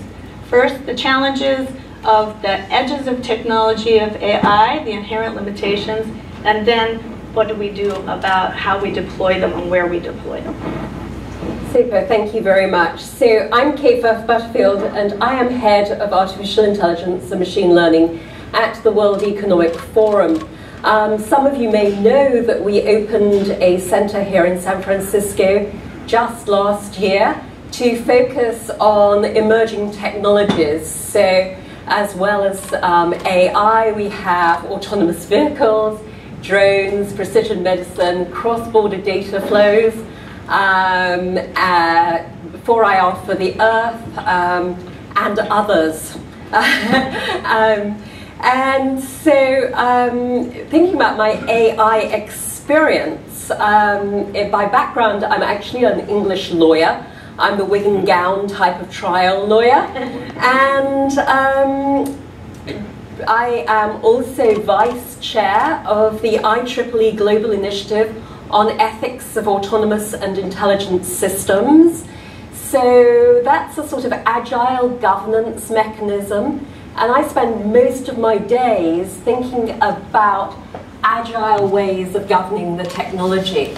So ways in which we can encourage innovation, but also make sure that the worst doesn't happen. Um, I uh, ran an ethics advisory panel for an AI company, and I have taught law at the University of Texas around uh, policy and emerging tech. Um, I have master's degrees uh, where I looked at AI in terms of law and in terms of inter international relations. But what I do day to day is exactly this public-private partnerships. So I work with governments to create models for governance for the benefit of humanity. And just very quickly, an example of that. We're working with one government, um, not the US government, uh, a government in Europe, to create best practices against which they will judge all um, purchases of artificial intelligence for their government. Now think about what that means. That means that we are effectively drawing the line in the sand and saying the government isn't actually going to regulate, it's going to show you, the people who are creating the AI, what is expected of you within this jurisdiction. And anything that we do at the forum like that is Creative Commons, so it's, it's designed to be a model for other countries to pick up and use around the world. With another country, um, we're reimagining what the regulator will be. So a regulator that actually helps people who are businesses and there to, to create their artificial intelligence products and then gives them a seal of approval, certification. So a regulator that helps rather than one that comes in and says, you did it wrong and we're going to fine you. Norma. Thank you. My name is Norma Krayem. I'm the co-chair for the cybersecurity and privacy team at a law firm called Holland and Knight, which is a global firm. But before that, I really spent a lot of my time in the government as a regulator, looking at emerging trends, what the role of technology means, and that balance of what is what really is the definition of a good stewardship, whether as the government regulator uh, in the EU and around the world, banking, financial services, the healthcare system, transportation, energy, um, water, communications, and we use the term smart cities. I, I think we need to pause and make sure that we are clear what the outcome is that we're looking for. And I'm not sure that I want uh, to trust our lifeline sectors uh, to something to complete control using AI or others, unless I'm aware and we're all aware as to what the risks are and what are the benefits. Now, I think it's perfectly fine, and we were talking about this earlier, if there's an AI system that wants to guide my choices to movies, you know, to things that make my life better, better, smarter, faster, more efficient. But when we talk about uh, full integration of AI or machine learning, and again, the lifeline sectors, I think that there are inherent risks in there. I think at the end of the day, we're talking about creating systems that will have a greater cognitive ability than we will. And at the end of the day, we are currently the in control of our universe. And I don't, um, I believe that the techno technological innovation is hugely important, but I think the rush for integration into everything is something people need to pause and have a longer discussion about. So, uh, what I think is, you know, these things are coming, right? So, um, more and more advances will be made, and um, these systems will be in place where they're making uh, uh, intelligent choices. Um, so what we should be enabling in these systems to make sure that they comply with our expectations around how autonomous systems should behave uh, is to incorporate um, higher level knowledge in them, right? So, so we started out doing these things by incorporating, you know, um, axioms and theorems about the world and reasoning about them, and then we moved to a completely data-driven approach, and we moved away from having a model of the world. Um, and in other fields, uh, you know, we, um, uh, we, we do that much more, right? So in engineering, there is always a model of the vehicle or something like that that you have that you're using then to build your feedback control or whatever it is. And what that allows you to do is to know when you are in a space where you are in control, where you have a view of what the world would be like, and when you're not. And so if you're doing these based just on data, then there is always going to be scenarios where it learns the things because the data is biased or it, the data is sparse, it doesn't learn the right things. Um, and, and, so I, I think we just need to make sure that as we are building these things, we're building them um, in ways that we are able to incorporate our knowledge and constraints of the world much more easily. And then they can do things like, oh, well, well you know, um, uh, am I in a state where I understand how to take care of it?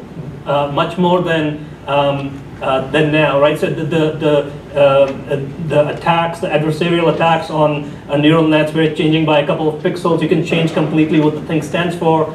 Those then become much less likely because you have a generated model of the world. Exactly, exactly. Um, and it's, it's interesting in transportation, right?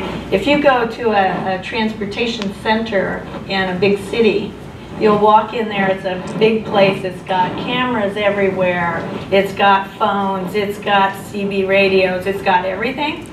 And then everybody who works there is standing over there having coffee. because they don't know what to do if things go to hell in a handbasket, right? they're, they're, they're watching it, they're communicating, but there are no control systems to really make change if you have huge incidences. So it's a very complex system of systems, and I think when we start putting AI into transportation, we have to be extremely careful that we have this model. Models of urban scale are pretty hard to, to put together. And the other thing is, right, in a lot of cases, you know, we, we heard uh, earlier, I think it was MII talking about, right, building this kind of explainability for financial transactions and things like that. Um, that's where maybe policy can help also, because there are a number of things where the system is not totally autonomous, uh, and it could be made much more explainable, but because of proprietary issues and other things, the models are kept very opaque, and so you don't know why they're making the choices they're making. Right. Um, and, and um, where it's technically feasible, policy can help enable that. Right. And I, th- I mean, I think you see that with the GDPR, mm-hmm. where Europe has said we our values are that we have privacy, and, and enacted legislation to, to um, underpin that, uh, together with the explainability piece for algorithms. I just want to add to that, that the interesting piece about GDPR is, is focused on the core issue of privacy as a human right and building systems around that. I'm not 100% positive as we think about the integration of AI and just technology in a lot of these sectors, that at least in the US, that we are building systems at the front end that are creating structures that will allow the individual to own their own data and to manage that data. When we think about autonomous vehicles and sensors, the, the, the future of how companies will be making money right now is about data and individuals' data. And I think there's a juxtaposition that we need to very quickly address on how is this really going to work? Because at the end of the day, the Europeans are very serious about fines and GDPR, and they will absolutely enjoy picking out the U.S. companies to, to. I mean, and they've been very clear about that. But I think we need to decide in the U.S. what are we going to do and how are we going to manage those structures. And I'll just say this on the depending on the the sector. That human-machine interaction between autonomous vehicles or autonomous ships or other things, those are really important. And making sure that there's robust cybersecurity protections in those systems is critical. Great. Um, let's move on a little bit to the regulatory side now. I read an article this morning about the, the, the hearings, and I want they, they gave a summary of the hearings from the past two days. So regulation is coming. Not clear that they know what regulation would even look like. GDPR is good. Monopolies were brought up. Don't really know what Facebook does. Not clear who has the data now that it's been out in the open. And that AI will solve all of Facebook's problems. so that was the summary of the past two days. So I guess the question is, what do we do about this? Um, obviously, it's very it's unfair to ask the senators and the House to be totally understand how artificial intelligence works and um, where it should be placed and, and what do we do about this going forward? How do we manage this process because the technology is moving very quickly. So that, that's why at the forum we talk about agile governance and we say that governance measures are not necessarily going to be the, oh, the traditional measures of legislation and perhaps case law where you, you duke it out until you come, come across an answer at a higher level court. And so things like standards, certification, public-private public partnership, thinking about protocols where we put everybody in the room who's interested and come up with um, protocols that they can work with. Um, and I guess two more things that I want to say. You know, we're talking about America, but uh, the rest of the world uh, also, we need to be very careful about how we deal with the rest of the world because otherwise, certainly the developing countries will fall further behind eh, as, as AI grows in the Western or in the developed countries. Um, and I think it, it, also, the fact that AI will solve everything comes back to my everybody brought, was brought up on too many Harry Potter novels, and we need to get away because it's really dangerous to think that AI is going to solve all the problems that we cause for ourselves. I'll say this, what I'm seeing certainly in the US and around the world is that the, those regulators are simply saying, whether it's AI or any form of technology, that some portion of the existing regulations that are in place are scalable and flexible enough to accommodate what we're talking about. Certainly in other sectors like transportation, that is entirely not the case. But I think regulators are saying if, if, if regulations are done well, well, um, they are outcome based, they are process based, and safety is still safety whether it's an autonomous vehicle or not.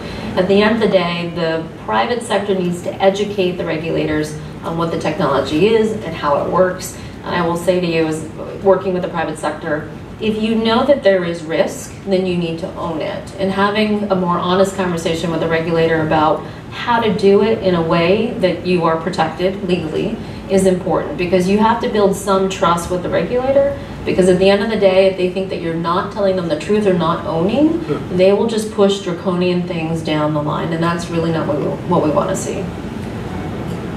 Yeah i think i mean you know there is a middle uh, step to you know government regulation and free for all. You know we've done this in the past in many things which is uh, professional societies that you know uh, help you self-regulate, come up with norms and things that you adhere to, right? So IEEE, uh, IEEE has done this for a number of things. Uh, is doing that now for energy, right? Both on the government side, advocacy of, of things on, on internally around setting st uh, standards and bringing uh, people together so that they can come together and agree on some norms.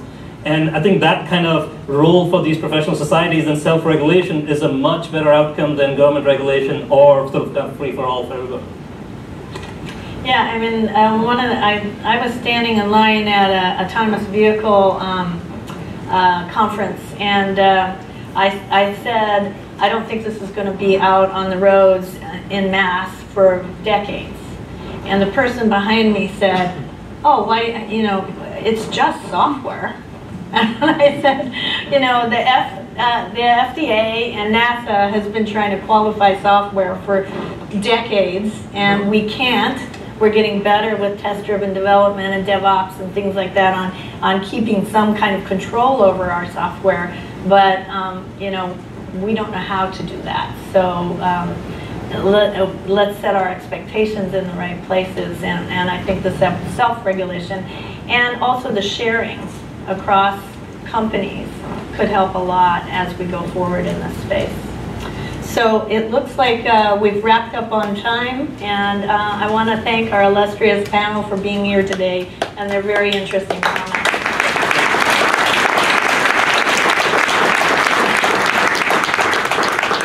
Thank you so much.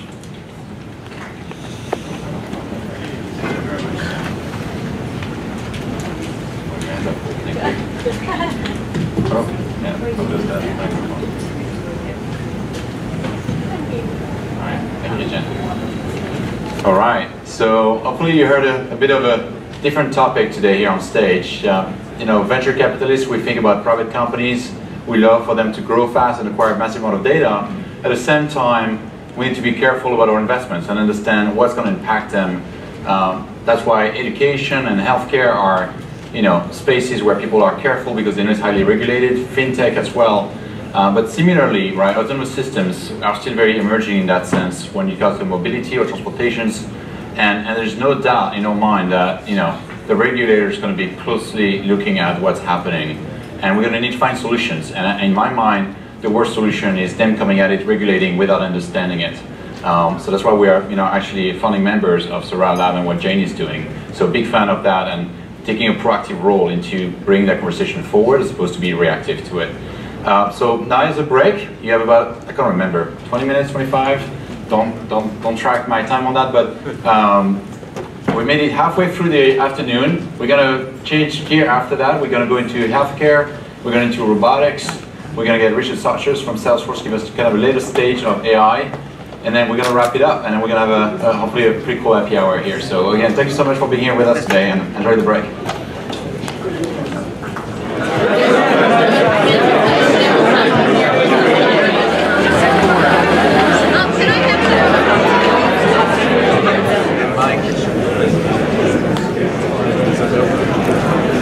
One, two. One, two. All right, coming back. I know it's already been 25 minutes, believe it or not. Um, we're approaching the end of the day, but we have actually three exciting sessions left. So uh, I'd love to get everybody back. Take a chair if you want to listen in and stay tuned, as we heard earlier. Uh, we're going to talk about something that touches us all, which is healthcare. Um, as I said earlier, it's a regulated industry. It's one where venture capitalists have, you know, kind of played a role over the years. But I think now and more and more we see technology taking, you know, a stab at, at accelerating returns on healthcare, and it's impacting us all.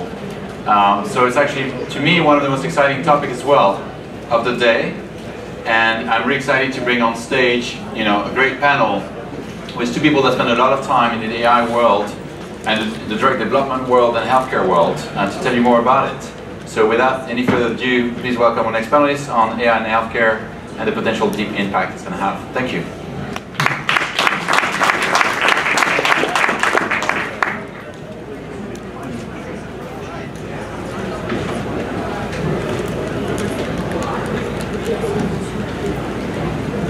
We good clicker wise? Whoever's whoever's controlling the slides here.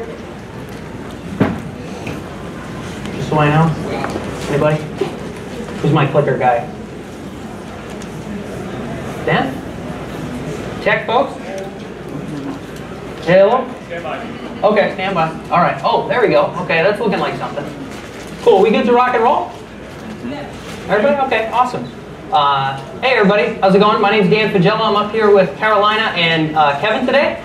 Um, most of this presentation is actually going to be a fireside chat with us, uh, but I was told to kind of tee this up with a bit of the market research that we've done in the healthcare space. So I run TechEmergence, which is kind of a market research firm focused specifically on AI and business applications. Um, what I'm going to run through today is uh, only going to take about eight minutes. I'm going to go very quickly through challenges and trends, and then I'm going to sit it down and chat it over with these folks here. Um, the insights I'll bring up are not so much sort of out of my own brilliance. They're from dozens and dozens of conversations with AI executives and researchers at the intersection of healthcare and pharma and, and machine learning. Um, so we're going to go a little bit into what are some of the major challenges with applying AI in this space, what are some of the friction points of kind of bringing artificial intelligence into the healthcare world, some of the application trends that we see a lot of in terms of new startups coming out in this space. We follow hundreds and hundreds of companies uh, in the AI and healthcare domain. And if we have a little bit of time, we'll talk about kind of getting around the hype in AI. But I'm really most excited to sit down right after I'm done with these slides and hash over some, some conversations uh, with Kevin and Carolina. So without further ado, we'll kind of dive right in. Um, one first point to bring up about AI and healthcare, I think sometimes it's seen as exceptional in this space, but it's not, uh, is that most of what's going on here is, is kind of in pilot phase, quite clearly.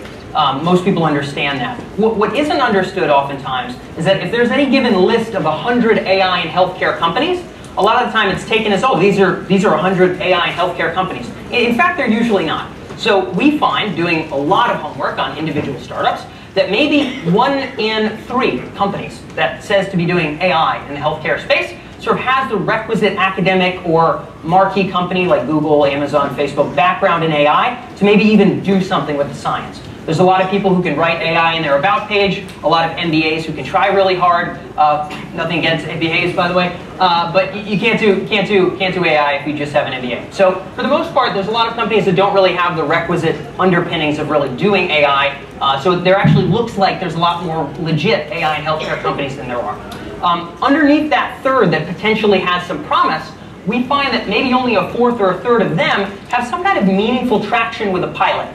So they've partnered with a hospital somewhere, they've partnered with a big drug company somewhere, and they have some degree of traction where it seems like they're feeling out something real. So what that boils down to is maybe one in 10 companies that's a AI healthcare company having any degree of legit traction in this space. That's where we are today. Um, maybe two, three years from now that'll be different, but it's important to kind of tee that up. Um, where are we in terms of kind of healthcare adoption? When we poll the companies in this space, the people that are trying to sell into this world, um, numero uno in terms of sort of where the industry at large is, is the industry seems to be at a point of needing to understand the ROI. So certainly, at least in the States, even more so than overseas and in Europe mostly, where we've done a lot of our other polling, um, uh, folks are sort of understanding the value prop, but really need to see it hit the ground running in order to pull the trigger.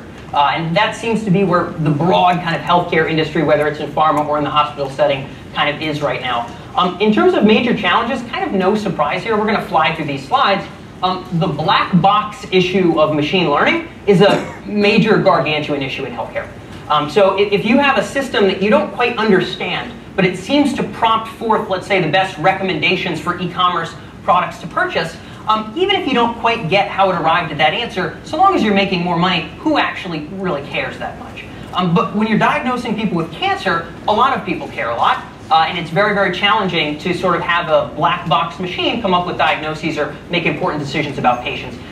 That involves sort of uh, deep technical issues with machine learning in general. A lot of people are kind of trying to crack that nut, uh, but it's not necessarily an easy one to move beyond.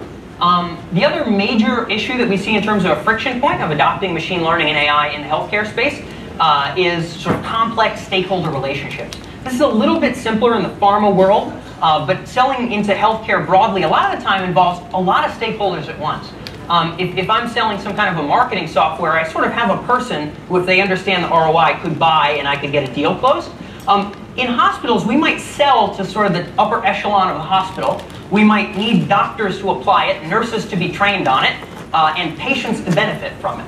And if anybody in that long, ugly chain sort of wants to clamp up and, and, isn't all that receptive, it makes it very hard to actually adopt these technologies. This is particularly challenging because a lot of them don't have a lot of great traction. So complex stakeholder relationships, particularly again selling into hospitals, really makes a lot of this tough. And almost everybody selling into that space gripes about exactly the same things. We talked to dozens and dozens of folks there. Um, lastly, we have the chicken and egg problem. Talk about this as kind of a last friction point. Uh, I'm sure we might talk about this a little bit with Caroline and Kevin.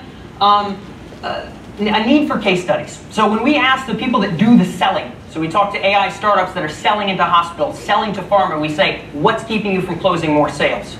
Vastly above and beyond any other responses damn it, we need more case studies. Over and over and over, it's the same thing. And so we have this issue of not being able to close deals without case studies. Hard to have case studies unless you close deals. Um, that's that's not like a two-week solvable problem. This is a pretty tough over time uh, industry thing, and I don't think there's really a fast way around it. But uh, almost everybody selling hard into this domain uh, is running into that as a potential issue and a hiccup. Um, in terms of trends, where do we see companies sort of spawning in this space? There's a lot of companies focusing on a lot of different spaces. There are a lot of exciting sort of domains of healthcare where AI could be applied. We see oodles and oodles in diagnostics.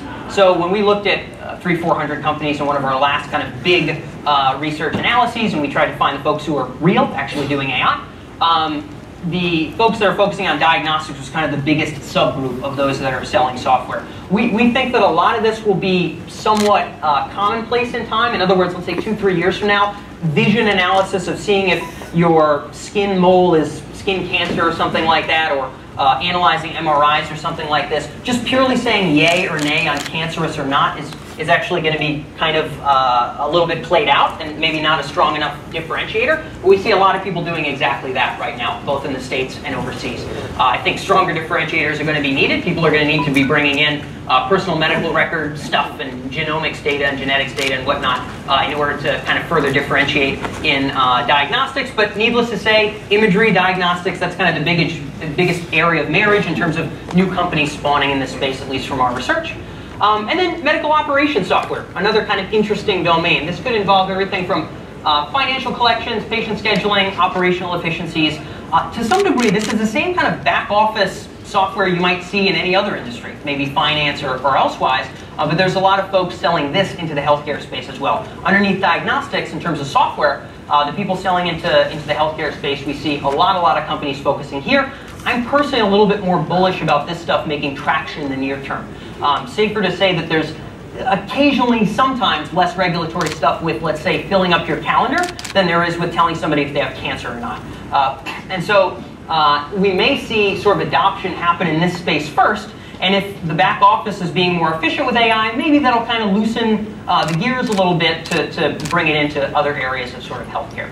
Um, so this is kind of lay of the land of where we are. If you guys want to copy the slides or the research that we base this off of, I'm just Dan at TechEmergence. Otherwise, I'm going to sit down and I'm going to pass it along to these folks. We have Carolina Rizza with uh, Just Biotherapeutics, and we have uh, Kevin Hua with uh, Bayer. I'll let you two give a short intro, and then I'll pass some questions back and forth with y'all. So let's get going.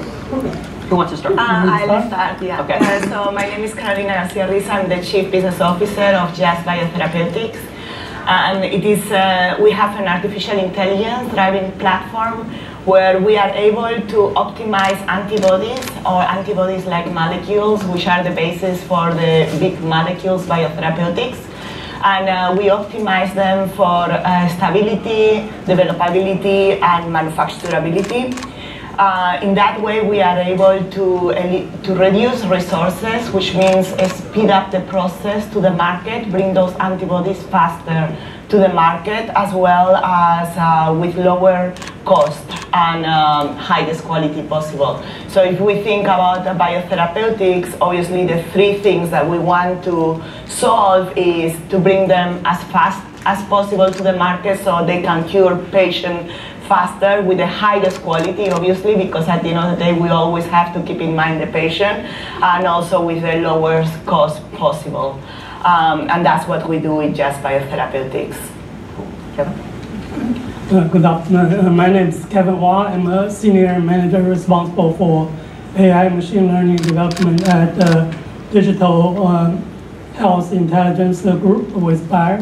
So Bayer is one of the largest uh, life science company in the world. That's where uh, aspirin was invented 150 years ago. So we're still a innovative company. That's why we have the Digital Innovation Digital Health Group. So uh, I was trained as an AI researcher 20 years ago. I've been working in the industry uh, for 20 years and with uh, different uh, industry problems. Uh, for the last two years, I worked for Bayer. We focus on one issue, that is how to speed up uh, clinical trials. Because clinical trials is a very specific problem. It is costly, it takes a very long time, I always use the analogy between clinical trials and aircraft manufacturing because uh, I used to work on uh, one of the largest uh, aircraft manufacturing program to try to optimize it. So it's the same thing. It takes a very long time. It's very costly. There are a lot of variabilities. And the only difference is that with aircraft manufacturing, after three or five years, you have a real product. You can sell for 100 millions. But in healthcare, even when you start uh, phase one trials, after three, five years, 90% of the trials failed. That means you wasted a lot of money. And even worse, the, it's even harder to predict the variability, the risks, because there are so many sources of a virus. So that's what we are trying to do. We leverage historical clinical trials data. We try to quantify the amount of risk we'll have in each trial, in each phase of the uh, clinical trials, so that we can not only use machine learning model to evaluate uh, existing planning scheduling by our domain experts, we can also forecast to tell exactly how each trial will take, how long each trial, each phase will take, how much it's going to cost. So that's the work we are doing. Cool. Um, so yeah, uh, designing drugs harder than designing aircraft parts. okay, good, good, good, synopsis on that. Um, so we'll get into the first question that I wanted to ask you both. Um, I think a lot of people are, are interested in sort of what's automatable in the AI and healthcare space. And I'm interested, is there anywhere where subject matter experts in either of your spaces are having maybe some or all of what it is that they do on a regular basis kind of done by AI in any way? And, and if so, sort of where's a lot of that traction happening? I think people are curious about that. Yeah, um, so I think that if you look at AI in healthcare, it has lots of potential applications, like you said previously in your really good um, talk before. Um, what we are applying is wherever um, there is the possibility of gather data, good data that has actionability, and we are able to learn from that data apply machine learning, that's what we are applying the, the machine learning. And our case is we are gathering data from all the process, from the design, the process, and also the manufacturability. So in the panel before, we, they were talking about production. Um, and the, the person from GE mentioned how the production of biotherapeutics was very important. I can only echo on that.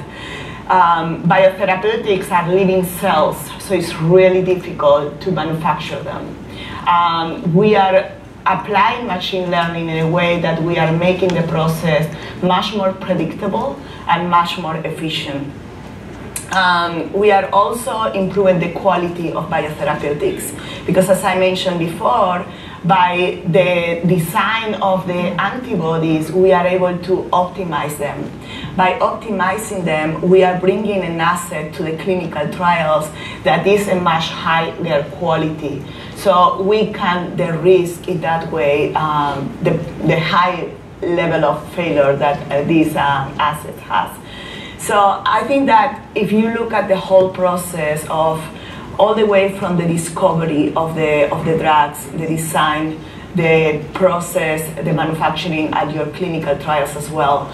There is lots of places where you can apply AI, but always when you really have a way to gather that data and to learn from that data that is clean and is good quality do you see this involving, just to clarify the, on the question, um, is this involved any reskilling or sort of maybe freeing up of human time and some of that monotony, or is this really kind of a new capability where people are sort of adding time to their already busy schedule? Sort of, what has this done to sort of the, day-to-day work of the folks? So in our case, and I think in your case as well from our previous conversation, it's actually freeing up lots of time.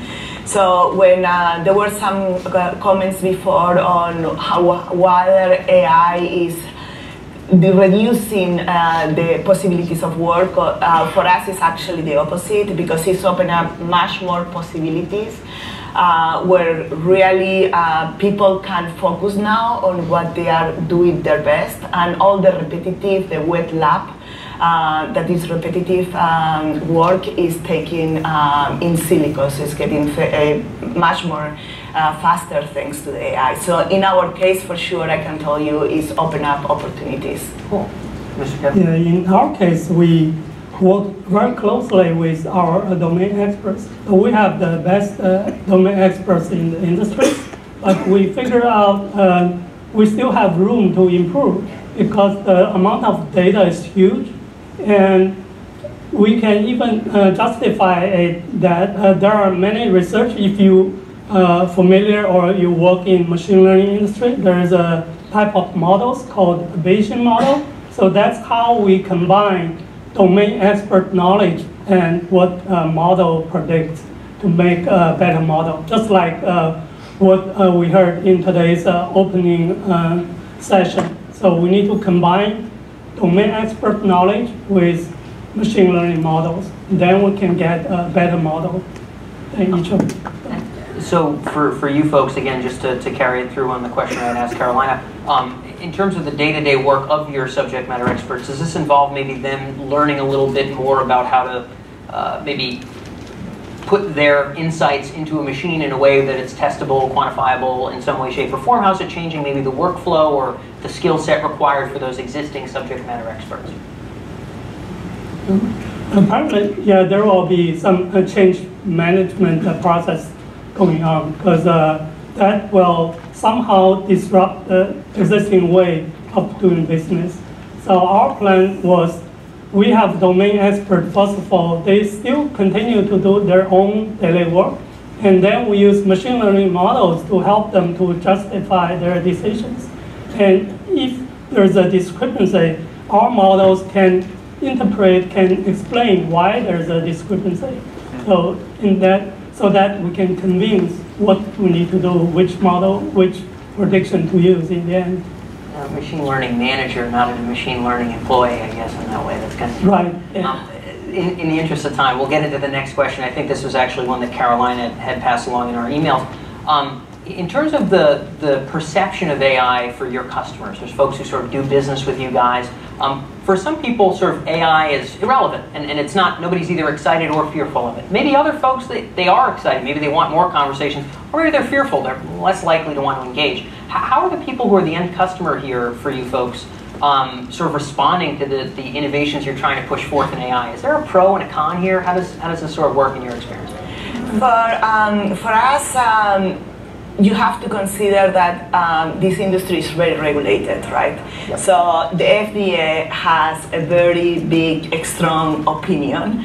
So we, one of the biggest questions that we get is, well, I mean, if I optimize with you guys, if this is through machine learning, whatever, what about then FDA, right? And actually, I mean, we are working very closely with the FDA. Our, uh, we have a GMP manufacturing facility, phase one, phase two, um, in the company, and uh, we have worked very closely with the FDA. And actually, we have been working in a way that has been very mutual, um, in a way that we are teaching them as well as we are collaborating with them, which is a really good, nice uh, collaboration to have with the FDA. Um, that said, I think that um, there is all kind of customers, like you say, the ones that are excited because all of a sudden they can say, well, I'm collaborating with this company that is the leading technology because has AI. And there is others that say, well, um, I'm not sure, so therefore what you say really good, we have to go through cases studies. Yep. And uh, just out of curiosity to, to, touch on that a little bit, uh, you mentioned some folks are a little bit excited about it. Is there, I mean, I imagine not all of them have a firm grasp of AI. Is it just a bit of the kind of pizzazz factor? Like, man, we, we, we kind of, we have this inkling that we want to be on the edge. It'll be cool to be associated. Is that kind of the feeling? Yeah, there are lots of them, yes. Okay, yeah, we certainly see that in other, other spaces. Kevin? Yeah, in our case, uh, I think it's a common reaction to everyone. If you don't understand the theory, it tends to be skeptical. And our customers are internal, and we do have some people are more skeptical, some are more open to new technology. So I think uh, we have the most smart people at Bayer because uh, if you look at the life science companies, we have the, the highest percentage of PhDs in all industry.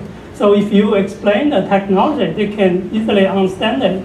Also, when we build models, we should make it interpretable, and we should make it that uh, can be validated. So that's uh, the type of uh, measures we take for how to uh, let people uh, accept our technology. to, to your point, Carolina, you mentioned sort of your current relations with the FDA involves sort of teaching and working with them, um, as, as well as kind of obviously they have their role to play with you guys. Yeah. Um, I, I imagine that won't continue forever, but it certainly is the case now, right? There were probably new technologies you guys would know better than I 10 years ago, 15 years ago in this space, where similarly the folks on the bleeding edge kind of had to really sort of mingle with the FDA for a while. At some point, maybe we'll push beyond that and they'll sort of know the areas of ML where they have to be real tight and they'll have maybe a general understanding of some of the more common technologies.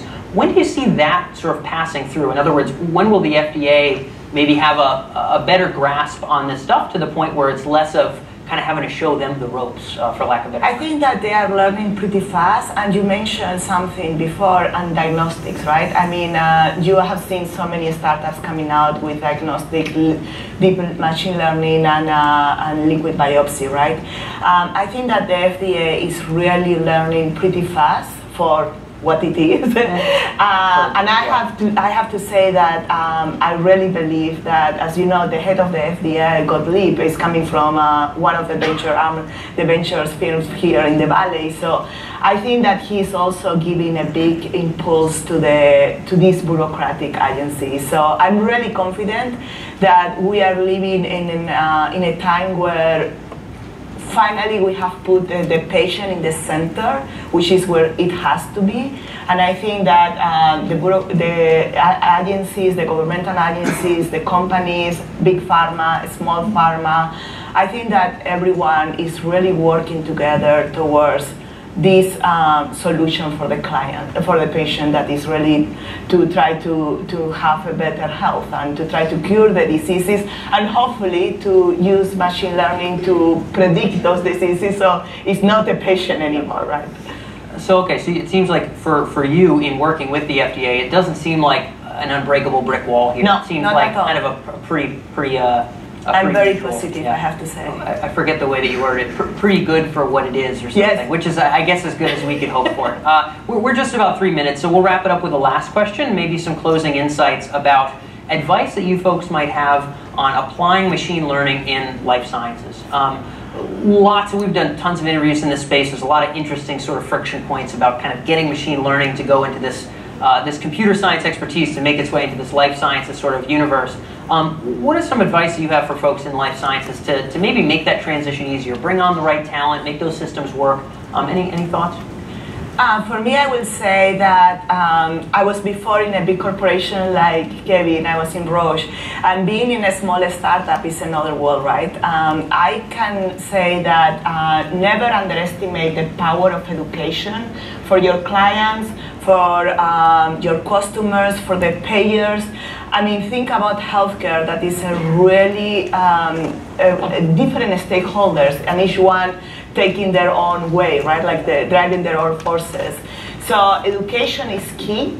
And uh, as you mentioned very well before, um, case studies. Always as soon as possible show to the market that you have positive case studies and explain what have you done through those case studies. What have you achieved and how and why it's important and what's the benefit for the patient? I think i will not emphasize that enough. It's really important the education when you are doing some innovative uh, cutting edge technology. Cool. Good point. Yep. yeah in our case uh, Bayer actually from the high level management. We believe in technology, and we uh, have started a few new uh, analytics groups. We are hiring people, and it's just up to us to show them how this technology is going to work, how it's going to help us, uh, help the company to improve our daily business. Do you sort of second maybe what Carolina has to say about education? I've heard a lot that it's important for the life sciences folks to really bleed a lot of that expertise early and often onto the computer science folks and vice versa. Find a, a cadence of sort of shared knowledge there. You guys are, I imagine, working on that quite ardently. In my case, yes. So we have uh, computer science together working with protein expertise, um, all kind of scientists of wet lab. So they are working uh, together, and now we are starting to hire people with double measure. So uh, science, biology, and computer science, and we are seeing more and more of those. And actually, that's like a perfect beauty, perfect combination. I, I think it's in closing. We're five seconds here. I think it's it's it's up to you guys and companies like y'all to uh, take these computer science folks, embed all these life sciences knowledges, and then have that of spread into the, the world because right now the, those two are, are often not connected. So I have my fingers crossed that that works out. Thanks so much, guys. Give it up for, for our great panel here.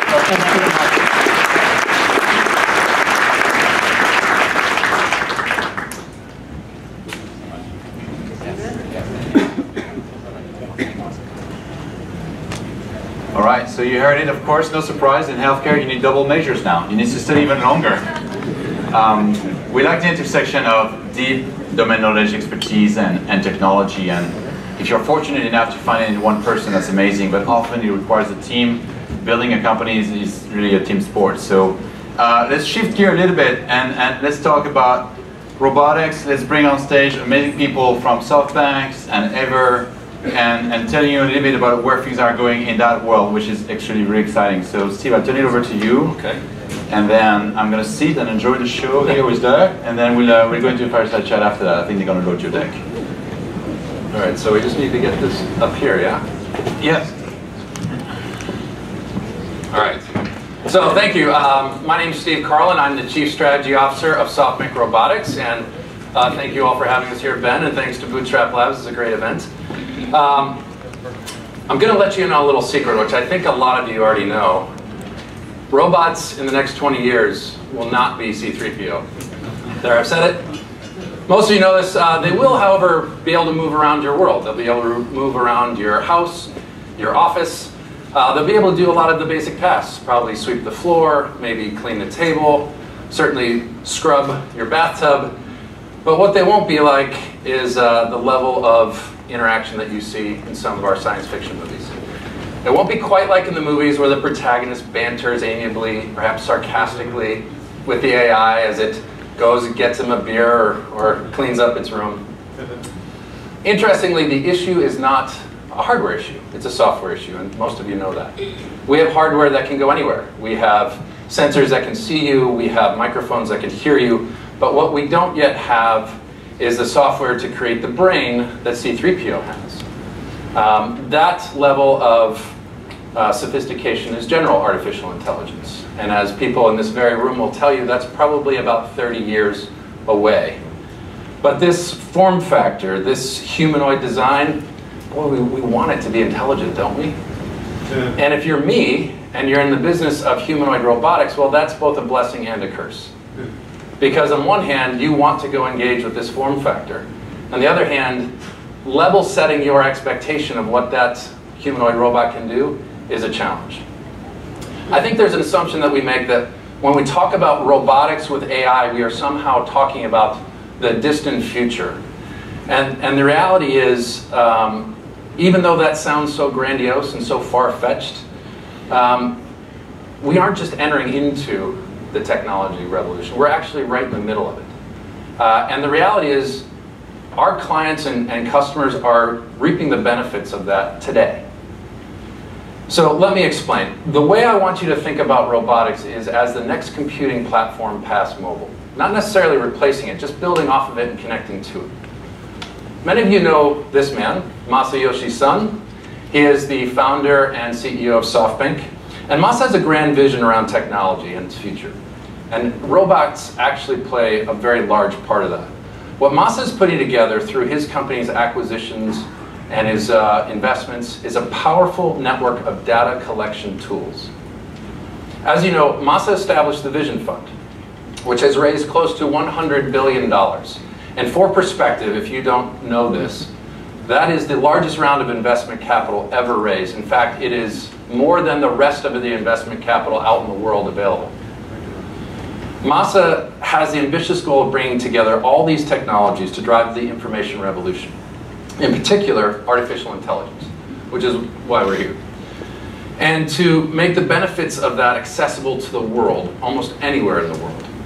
And I'm fortunate, being a, a SoftBank company, to be able to connect to just about all of these companies, which is actually a great place to be if you're me.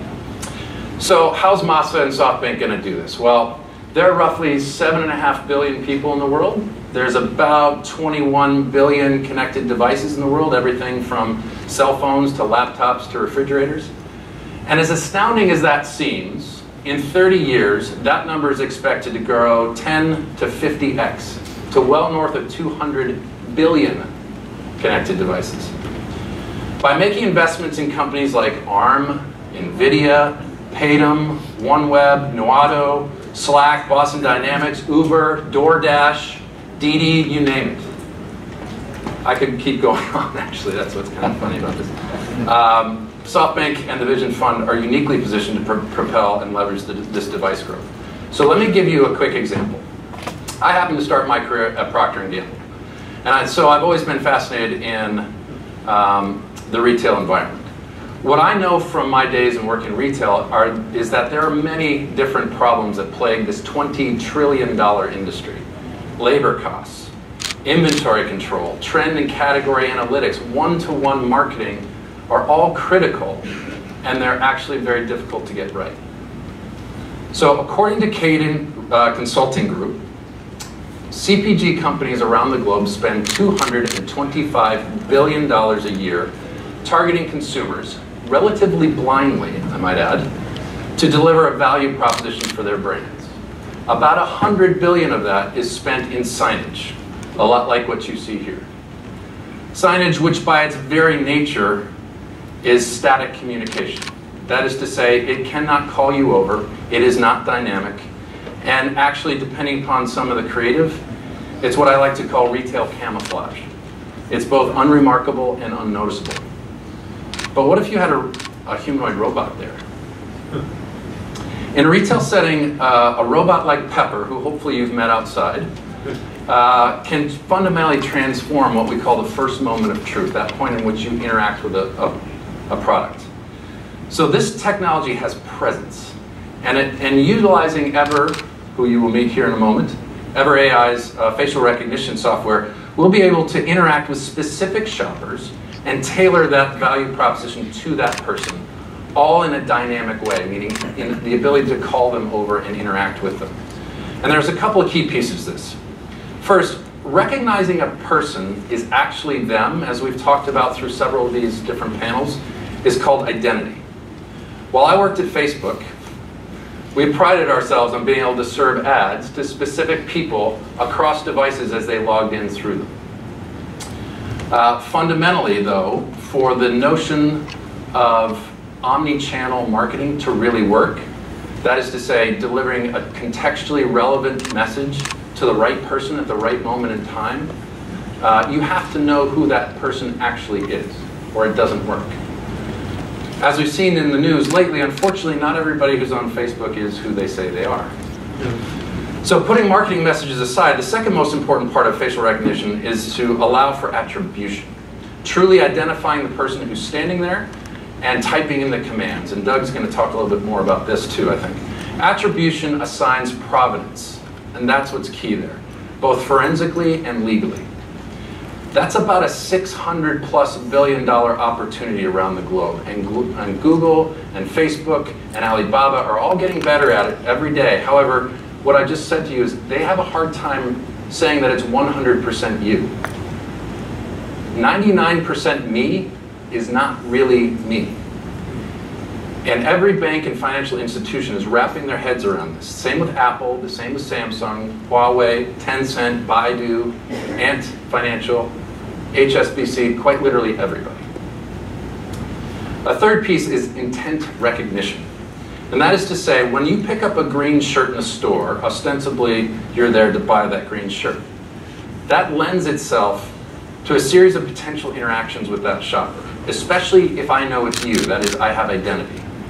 Do you need that in another size? Do you need that in another color? Do you want me to add that to your online shopping basket? When you understand intent, you can deepen that experience and provide a shopper or a search query or a service you provide, um, and then move that shopper all the way through that marketing funnel to uh, purchase, to closure. Identity with intent is a very powerful set of tools for retail. The final piece of the puzzle then is to understand the context of the environment that you're in. How many of you, by show of hands, have gone to the store with the list and found that the item that was on that list is not in the store? We all have, right? That is a $65 billion problem in the United States, just in the United States. Um, what if we could go one extra step and not only tell you what products that we are recommending to you, but literally tell you where it is, that is what store, and where in the store that product is. With, with our just announced association with Simbe Robotics, that's exactly what SoftBank Robotics is going to do. And add uh, attribution and intent to that. So let me tie this all together for you and we'll, we'll move on to, to, the panel. By combining the form factor, that is the hardware, uh, with just a few key AI partners like Ever, uh, we can transform the key revenue driving experience for a $20 trillion industry. But retail is just one of the industry examples. As I said before, I have the benefit of being part of the SoftBank umbrella. Therefore, um, I have potential to connect to platforms and data sets that will define the world's economies going forward. And that's pretty profound if you stop and think about it. So I told you at the onset that uh, we won't quite be C3PO in the next 20 years, and that's still true, but um, what we can connect are the various dots, and that's the growth and explosion of the devices, the data that these devices uh, kick off, and the AI that that powers, and then this robotics form factor, which allows for better engagement. And so you can see where the next 20 years is going to go. So admittedly, we have a lot of fun. We're super happy to be part of SoftBank and be able to um, help take the AI revolution into where it's going. Uh, but with that, why don't we get to a more interesting conversation, and I will sit down and give you the clicker. Thank you, Steve. Thank you. So let me turn it over to, to Doug here. I think I don't need to introduce myself, um, but why don't you tell us a little bit about uh, yourself and Ever, and then we, we jump straight into this conversation. Sure. Uh, so my name is Doug Aley. I'm the Chief Revenue Officer at, uh, at Ever AI. Uh, Ever AI is a face recognition platform uh, that has a, a, few things that distinguish it. Uh, one is the, is the data set off of which we were built, which is about 13 billion uh, photos and videos um, from a consumer company that we actually started about five years ago. Um, and then recently made the face recognition technology that we use as a consumer company available to, to enterprises. Uh, the other things that uh, distinguish us are because of that large data set, the, um, the accuracy that we're able to provide to our partners, um, as well as uh, some of the ways that we're willing to uh, deploy that technology and work with partners, uh, such as SoftBank, where we're humbled to work with them. Um, we provide a, a very, a very low footprint iOS and Android SDKs that use our face recognition software and a bunch of different capabilities that come along with that software, um, as well as a um, uh, an API that you can deploy uh, behind your firewall on your own hardware um, or in a private cloud, uh, as well as in a public cloud if you so choose. Um, so Great. That's us. Thank you. Well, I don't know about you, but when you when you have SoftBank on stage with you and you're listening to the numbers, it's mind blowing. Like you achieve from you're thinking of thousands to millions to billions and trillions, right? And, and, thank you, Steve, for putting that into context because I mean, a lot of the people out there they hear about the phone, they hear about the investments, but frankly, I don't think people connect the dot. And I think what you really outline here in front of us today is the incredible platform that really SoftBank is putting together. And, and it's just mind blowing to see that. And I think, you know, tying the dots and, uh, and thinking about robotics and sensors really, right? Robots are being sensors at the edge. Um, that's pretty phenomenal. So I'll turn it over back to Doug and we'll go back to you. Um, well, actually, no, before I go there, how do you think about building an ecosystem around this robotics, right? Because it sounds to me that there's an opportunity to partner. So what are you thinking there? Where are things going? And then I'm going to ask Doug, how did you achieve the dream of every company and it's going to stay busy the rest of your life working with stuff? yeah, I think we uh, we started out as a, very much an R&D company in Paris over the course of the last 11 or 12 years. SoftBank bought the original company called Aldebaran and turned it into SoftBank Robotics, so thus allowing us the connection to all these companies you know, I, I, think what we recognize is we're a robotics company, meaning we make robots. We don't make facial recognition. We don't make uh, dialogue flow. We don't, we don't necessarily do cloud computing ourselves.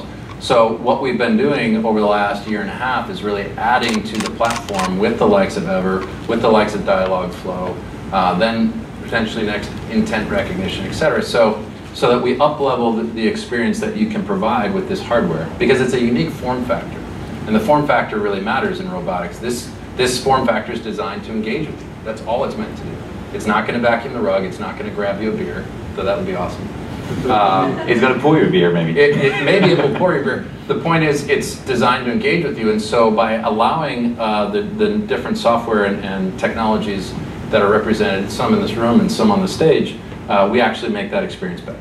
Yeah, and I think that that's really the opportunity. And so my question back to you is, what was it like to try to engage such a, a giant company, you know, in some sense, and what was the process like? And then, you know, I think, what does it mean for your company as well? I mean, uh, I'll start with the, the latter uh, piece first. Obviously, it means a lot um, just to uh, just to work with SoftBank, um, and uh, you know, it's quite frankly uh, honored to uh, to work with them. So, um, and as far as the working relationship goes, it's been phenomenal. Um, uh, it's much more agile. I mean, the nice thing about SoftBank Robotics is that it is a um, it's a, is a standalone company, and uh, and working with the team here in, in France and Japan, um, incredibly agile company. So um, you know, I look at the investments they've made across the board and think what an incre- you know an incredible platform. Um, and what an incredible engine um, Masa and, and Steve are, um, are building uh, together. So what, what's to that? Masa most yeah.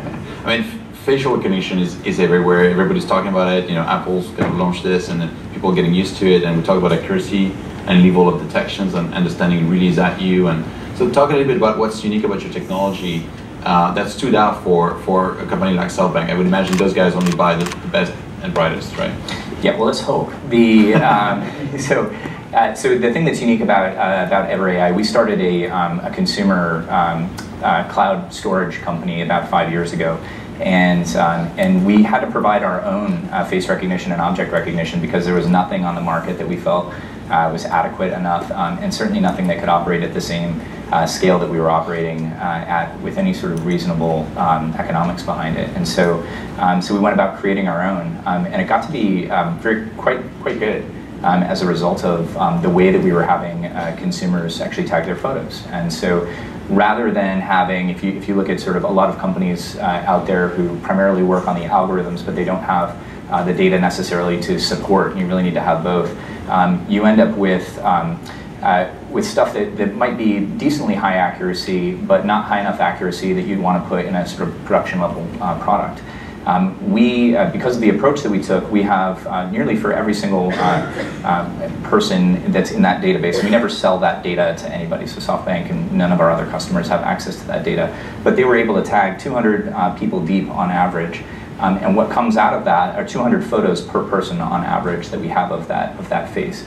Um, when you take 200 photos per person, and these are photos and videos that have been taken by consumers, um, so they're all sort of different, uh, varying levels of accuracy.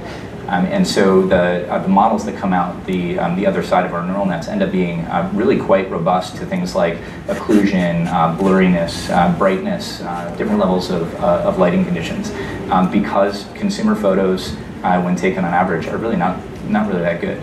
Um, they're obviously getting better, but um, with some of the more recent technology, but we have this large database to draw upon, and that's that's really what makes. But they're pretty static too, right? I mean, you're looking at now when paper tell me about how important vision is, right? We're talking about you know literally bringing AI into the context of vision to recognize people. It's, it's literally real time motion. Yeah. We're going from picture to videos here, and, and to which extent so where are you pushing that? Are you going to try to detect intent beyond identity? Yeah, I mean, we've got a lot of places that we're taking the technology. I mean, everything, as, you know, as simple as uh, liveness detection. So is this a um, is this a real person that's uh, that's in front of me, which becomes incredibly important in authentication use cases. Um, everything from uh, from liveness to um, to blowing out our object recognition uh, in the next couple of quarters here. Um, we've had that object recognition for a long time, but we uh, in our consumer applications, but we haven't productized it yet.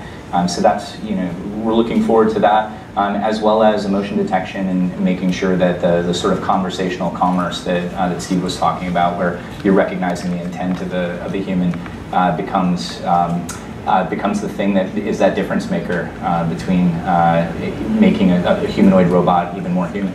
I mean, Steve, you talk about trust, right? So I think you think about embedded other kind of partners out there. Um, e-commerce, massive. Obviously, you have some backgrounds there and doing a, ton of work there. Are there other areas and other startups that are in the audience that are building companies that how they think about approaching you? What are some of the things that might be interested uh, in, in coming to you with and different verticals maybe or? Yeah, I think uh, you know we, we try to start first with what's what's the client's need. We, we can prescribe things, but that's not the way you're successful. So we start with what are the needs. Um, so if I think about hospitality, one of the issues is they need to know their customer, know your customer, right? That's not a, a new phrase. If I walk into a Hyatt, I should be able to be recognized. And so you know, we, we have a unique platform to engage with that person as they walk into a Hyatt. If I can recognize them on top of that, boy, I've fundamentally changed the interaction and experience they've had in the lobby. So the question really is is not that I have a specific answer so much as you know what what are you all solving or what are the co companies out there solving that would make sense on a platform like a, a, Pepper or another robot that we have, and, and that would be the ones that we'd want to engage with. We knew that facial recognition was important. We knew that uh, conversational UX is the, the backbone of this. Um, so now things like intent, gesture, you know, how do we better understand what that person is trying to communicate? Um, you know, Dialogflow was great for us because it brings the depth of, an, of a very specific experience onto the platform so we don't have to code it out. So if somebody already has a chatbot, we can just bring it onto the platform and now it's an expert in that one area immediately. So those are the kinds of things that we're looking to bring onto the platform to up-level that experience. Right, and I think that, yeah, I mean, you had this experience, talk about, practically speaking, how fast were you able to implement and test your technology on the platform? Yeah, I know. We can we can talk to. I think the the competence of the engineering team at SoftBank Robotics was a, a sort of a key piece of that. But um, we had their uh, their crew up and running in I think about 15 to 30 minutes yeah. uh, when they sort of dropped their um, our uh, Docker container in and uh, and they were ready to go. Um, now, obviously, the the hard part, um, you know, I would say that we, we've done a lot of hard part on from an engineering perspective on the AI side, but the hard part is taking that um, that technology and actually uh, creating delightful user experiences out of it. And so, um, you know, we've been partnered with them throughout the entire thing, um, throughout the entire process, and I think it's it's gone quite well. Maybe Steve has gone quite well. Except for, except for me, everything else good. Yeah, yeah exactly. Everything else is great. Um, so yeah, and, and you know, looking at that as, uh, as an example of how we look, uh, work with other partners, um, you know, everything from uh, banking uh, to uh, retail and hospitality, where we're pretty closely with uh, Steve's team uh, on that, to um, uh, to different surveillance type scenarios that, that, our technology is starting to be embedded in those types of scenarios as well. So you know, a lot of people talk about data and privacy and opt-in and everything else. I'm not going to go there really big. Um, thinking about that platform, I mean, you know, I'm looking at this as like this is a massive play working with the partners that are so much rich and and you know you ask yourself, okay, what are some of the things that we're going to discover? And this personalization you're talking about, um, how fast are we going to see it? It's all about building trust at the end, right? Because I, I, really love that part you said. This is how do I gain trust right away into my first interaction with something? And we've all been wandering around, whether it's you know the commerce, the store experience, right? All wandering around, where is this product or which aisle? And of course, they switch all the time because they don't want you to walk around the whole store. um, but you know, I, I think you know, tell us a little bit. So I, I see that vision. I see how, at what speed do you see that being adopted by the market? What do you hear from the, your customers out there? I, I, think the key is not trying to be all things to all people. We we have a robot right now who's really good in certain settings, not all settings, and so being very choiceful in where we we uh, work the robot, which clients we take on, where what kind of problems we solve uh, becomes key. Um, and then we're going to learn from the pitfalls of the other areas of the industries that have already learned these lessons. So e-commerce is a good example. Like we, we should shame on us if we repeat their their issues. So I think um, you know we're going to be very uh, thoughtful about the, the data we collect. We're going to partner with good partners who have their act together on that front, um, and that hopefully starts to create a good experience, which is the, the foundation for that trust you're, you're referring to. But I think when you try to overextend yourself is when you get you get exposed, yeah, yeah, and, and, you know, I think I was I use that as an example. I said, look, you know, it's not so much that Gmail product is much better than Yahoo or Hotmail per se, really, but the ecosystem they have around it is just mind blowing in the sense that I get so much value out of the partners that are surrounding that core platform. And I think, you know, what what SoftBank is doing, SoftBank Robotics, is really offering an opportunity to build an ecosystem around that that will make the company even more valuable. And as venture capitalists, you know, standing here very small next to SoftBank, we're still very excited about the opportunity to give unfair advantage for companies. So knowing that you can actually validate and taste quickly, you know, within a 30 minute you know, integration into the platform of, of SoftBank Robotic is actually quite exciting. So it was really privileged to have you both on stage to talk about that dynamic and, and where we're taking the experience going forward and thinking, again, robotic as sensors and extensions, right? Putting the dots together, um, pretty phenomenal. So again, thank you so much. Please join me in welcome and thanking the panelists for joining us today.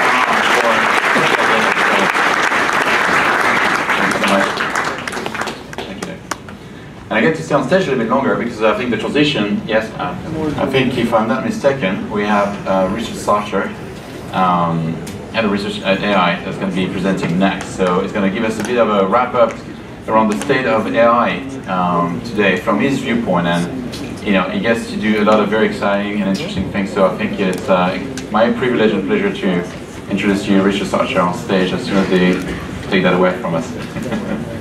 Thank you, Richard, for being with us.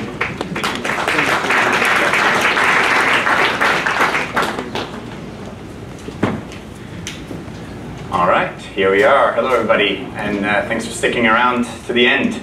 Super excited to be here today to tell you a little bit about the state of the art uh, of AI uh, as we see it today, and maybe give you a little bit uh, of a look into the future.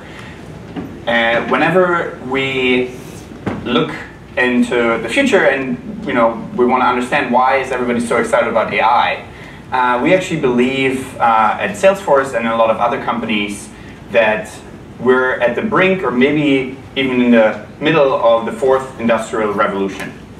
And when you look at the previous industrial revolution, it really significantly changed how humanity operated, what most people did most of their day. And when in 1969 people asked, oh, what's the future going to be in like 40 years? And they asked the experts at the time, maybe the professors who sent the first TCP IP packages uh, across the first version of the internet, the ARPANET. Um, zero people at the time, none of the experts at the time could have predicted that 40 years later we'd have a social media Twitter marketing manager position. And just like that, when I'm asked, oh, what's the future, the long-term future of AI, uh, it's really hard for me to really go that far out because the internet will have a uh, less of an impact than AI uh, will have on the future of humanity. And so we need to have a little bit of humility in how far out uh, we can predict the future. But what is clear is that there's also uh, some amount of hype. And so I want to point out to this really great quote here uh, from 1958 in the New York Times uh, when Rosenblatt, Frank Rosenblatt, uh, just invented the perceptron. And the perceptron is indeed the first basic building block of neural networks, the same kinds of neural networks that nowadays are giving us all the huge advances in AI. And at the time, they were already very excited about that thing, and they often gave uh, estimates of maybe 10, 20 years uh, back then uh, about these kinds of algorithms being conscious of their own existence, talk, see, write, reproduce themselves, and so on. And so there's currently no credible research path for self-conscious AI. So despite me being extremely excited about AI, I'm not worried about the self-conscious, self-goal setting AI because we don't really know even what the missing pieces are. Some people think, oh, but computers will get so fast, we'll have enough neurons to model the human brain. Well, we already have enough neurons to model an ant brain, and we still don't have as good robotic control as ants. So uh, it's, it's a little bit more complicated, but it is also the case that we have made a lot of progress in some of the other verbs like talking, seeing, and writing, and I'll show you a little bit what those will look like soon. So again, whenever you talk about such a hype-induced subject like artificial intelligence, it's good to look back at like what the basic definition is of AI. And the tricky bit with that is often that it's actually moving. As soon as we solve something, we don't call it AI anymore. In fact, uh, it started with you know research and folks who worked and looked at each other and said, oh, we're really smart, what can we do really well? And they could play chess really well, they could memorize things really well, they could do math really well. But of course, the computers can already do that.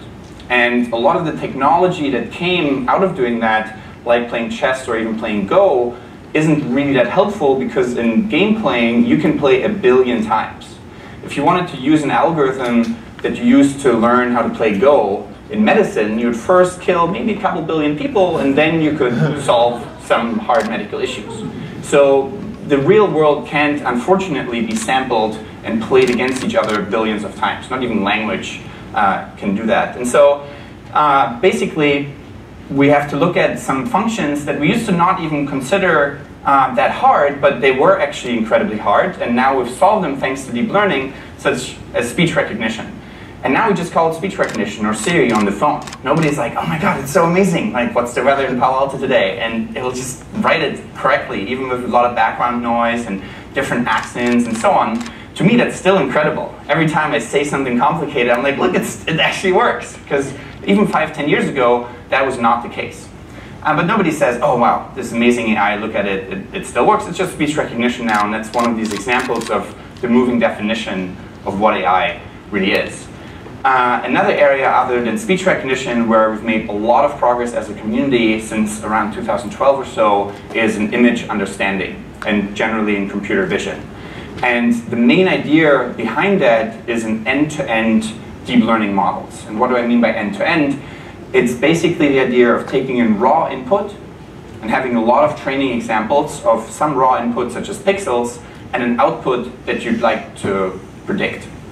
And in this case here, you've trained, uh, the first kind of big breakthrough came from training on ImageNet, where we had 1,000 classes and 1,000 representative examples for each of those visual classes, like cat, dog, house, car, and things like that.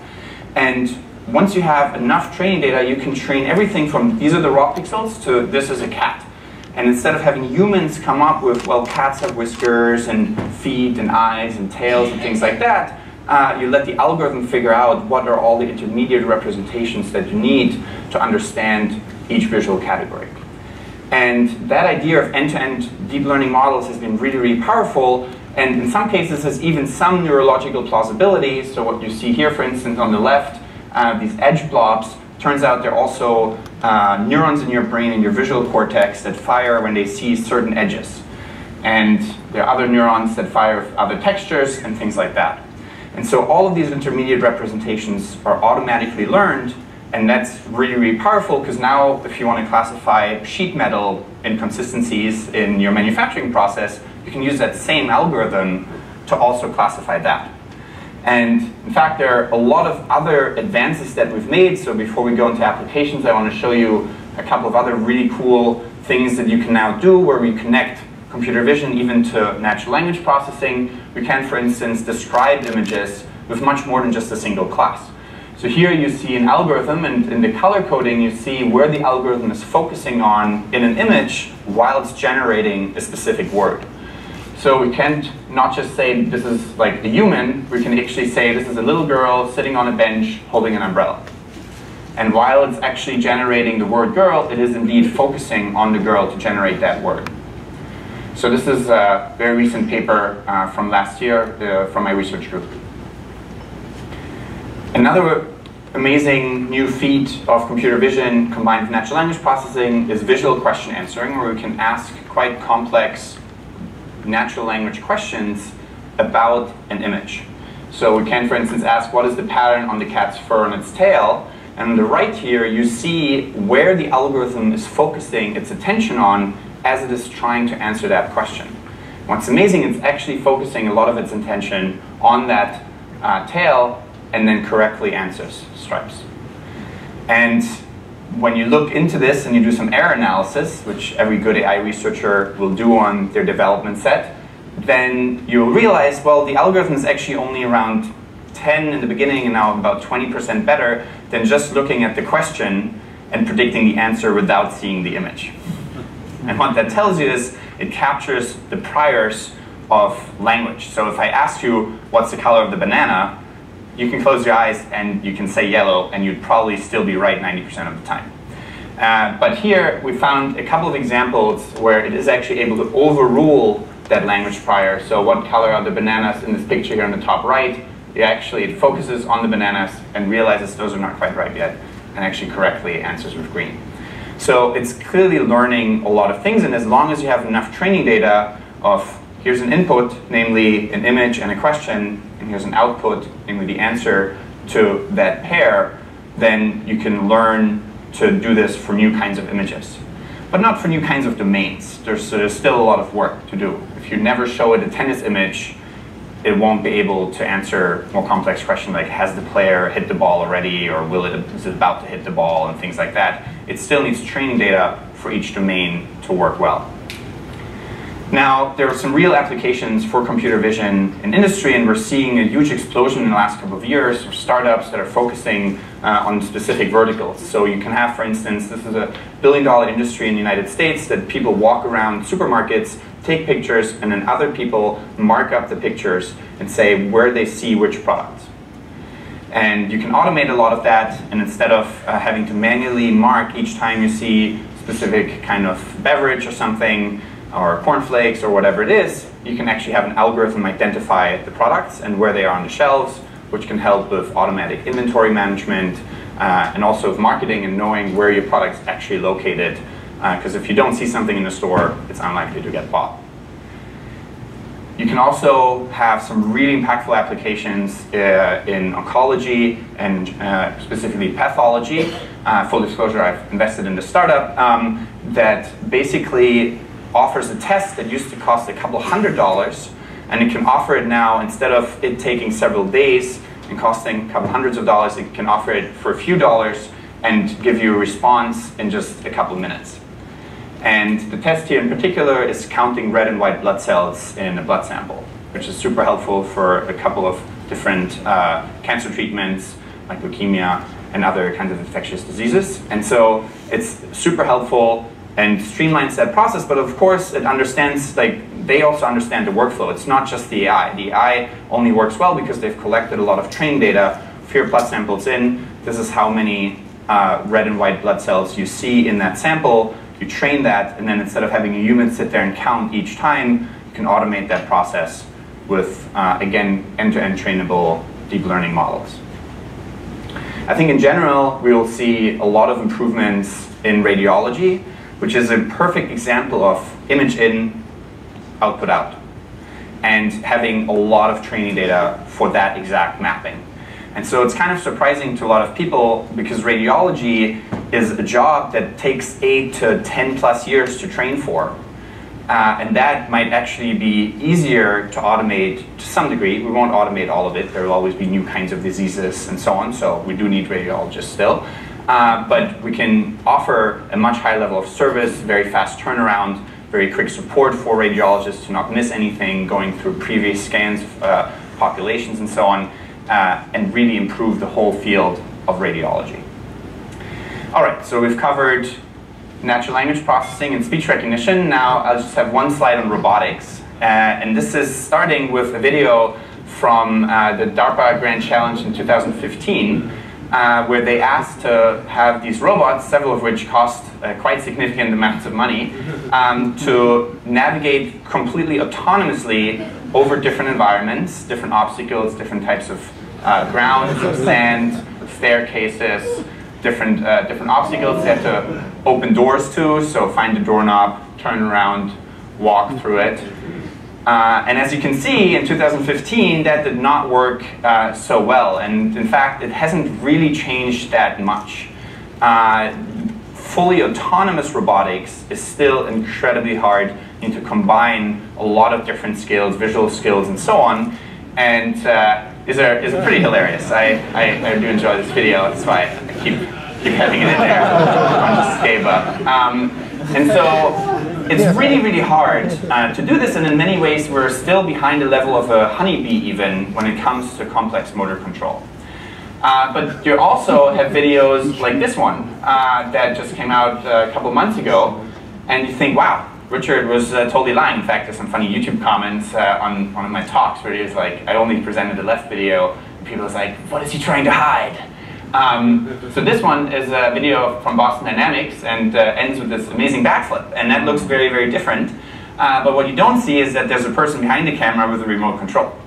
So this is not fully autonomous robotics. Uh, but they have figured out a lot of the lower level dynamics to actually make it stabilized and stand and walk and jump and things like that. But it doesn't make autonomous decisions. So again, we're still pretty far away, despite making a lot of progress, we're still pretty far away from any of those fun sci-fi scenarios of Terminator. Uh, in fact, what I think is the most interesting manifestation of human intelligence is actually natural language processing. If you think about it, it actually is connected to all the other things that we do. Uh, it's also connected to thought, uh, which is pretty important. And when you close your eyes and you think about running, you can actually, your motor cortex will fire too. So thinking and language connect all the other parts of the brain. And it's very distributed and complex kind of machinery, of which we also have a lot less understanding than the visual cortex, for instance, uh, in, in, neuroscience. And so there are a bunch of interesting applications, uh, several of which have huge amounts of industries and impact behind them. And I'm not mentioning the obvious ones like advertising and search, which show you that NLP is already the kind of technology that has had a lot more impact than pretty much all of other AI combined in terms of uh, GDP and things like that. So it is still also really hard to do it perfectly, though we are making a lot of progress. In 2011, uh, people found that whenever Anne Hathaway started a movie, reviews came out, were positive, the stocks for the company Berkshire Hathaway keep going up every time. Start a movie, good reviews, stock went up. Uh, and so this is what we call entity disambiguation problem. And those still persist as you're trying to solve a lot of very general kinds of problems. Uh, but we have made a lot of progress. So this is an output uh, of uh, an algorithm uh, that my group and I developed um, two years ago. And those are examples that no previous algorithm had correctly classified before, but now the latest uh, of deep learning algorithms can actually accurately identify the right sentiment for these sentences. So the first one is in its ragged, cheap, and unassuming way, the movie works. So despite being cheap and unassuming and so on, this is actually a positive sentence because the movie makes it work. The second one, the best way to hope for any chance of enjoying this film is by lowering your expectations. Also really tough because traditional machine learning algorithms would say, well, it's got best and hope and chance and enjoying, how bad could it be? Uh, but then you only get to those once you lower your expectations a lot, and this new algorithm can actually do this accurately. So quite exciting. Uh, another major breakthrough of last year was that we can now, with again an end-to-end -end trainable deep learning model, which actually also uses some reinforcement learning, uh, but it's still end-to-end -end trainable, can create summaries of longer documents. And summarization is still a really tough research problem. This is a particularly good example. They don't all look that good. But uh, the main problem is often the training data. Do we have enough training data? And we need ideally hundreds of thousands of summaries about certain domains. And once you have that, you can build algorithms that can summarize longer documents into shorter ones and actually generate multiple coherent sentences, which was not possible up until last year. The last application uh, and research area that NLP uh, is really excited about, the community of NLP is really excited about, is question answering. And that, of course, is also extremely helpful. Instead of giving just a list of websites that might include your answer, you give the exact answer phrase. And that can be used in service, it can be used in chatbots as a subcomponent, where you can allow your chatbots now to ask questions over FAQ sites or knowledge base articles and things like that. So I think in general, we'll see AI augmenting a lot of different kinds of human and informational work. Uh, there's another fun example where you can look at what lawyers are doing, and instead of them spending an hour a day keeping track of how they spend the rest of their day, you can just based on what they're typing and what documents they're working on, automate that for them. And an hour a day for a lawyer means a lot of money per year for a law firm. So just automating those kinds of things and taking away the, the sort of boring parts of your job, I think will be overall very rewarding. Now, you might ask what you need to make AI work for your own company, and uh, we don't have quite enough time to really go into that. Uh, so just going to tell you that you got to think about your data, your algorithms, and your workflows.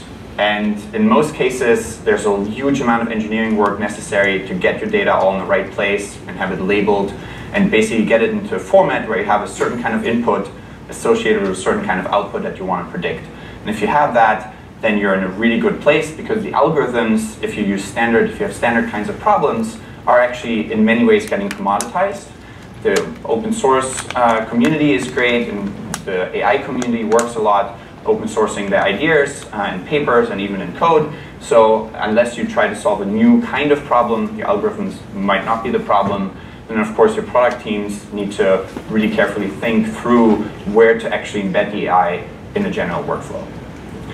And so that, I'm going to end with some high-level future thoughts, uh, which I don't think are actually that crazy. So I think food and basic necessities like housing and safety could actually be automated with AI. Uh, if we, you know, it's not, we're not going to give you like the latest iPad or something with AI, but if you just want food, shelter, and things like that, in theory, with the right political structure, AI could offer that to everybody. Uh, so if there's still people uh, suffering hunger in the next couple of decades, it's really a political problem and not the technology problem anymore. Uh, I think human intelligence uh, and productivity will get enhanced and in the end, we'll have to focus more and more on unique, creative, and empathetic tasks where you want actually a human to be interacting uh, with you. You don't want an algorithm to do certain things. And the last word is that uh, AI is really only as good as the training data that we give it. And so if your training data is sexist or racist or any other problem uh, that you might have in your training data that is collected based on human actions, then your algorithms will just take that in and amplify it or reuse it and replicate that kind of behavior. So it's important that we're thinking about diversity both in terms of the kinds of problems that we work on and the kinds of people that are working on these problems, as well as the data sets that the algorithms are trained. Algorithms are always neutral.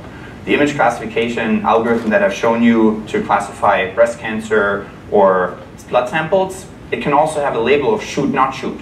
There's nothing inherent that we can force these algorithms to not ever do because they just take in their training data and do basically replicate the kinds of patterns that they see there. So hopefully, as AI is getting applied to more and more industries, each of these industries, like transportation or medicine, will have to think about how to regulate it, but it doesn't really make sense to regulate it as an overall thing, just like it's hard to regulate all of computers or all of hammers because those can also all be used for good and bad. So hopefully it's up to you to think about all the positive use cases and make AI uh, improve the state of the world.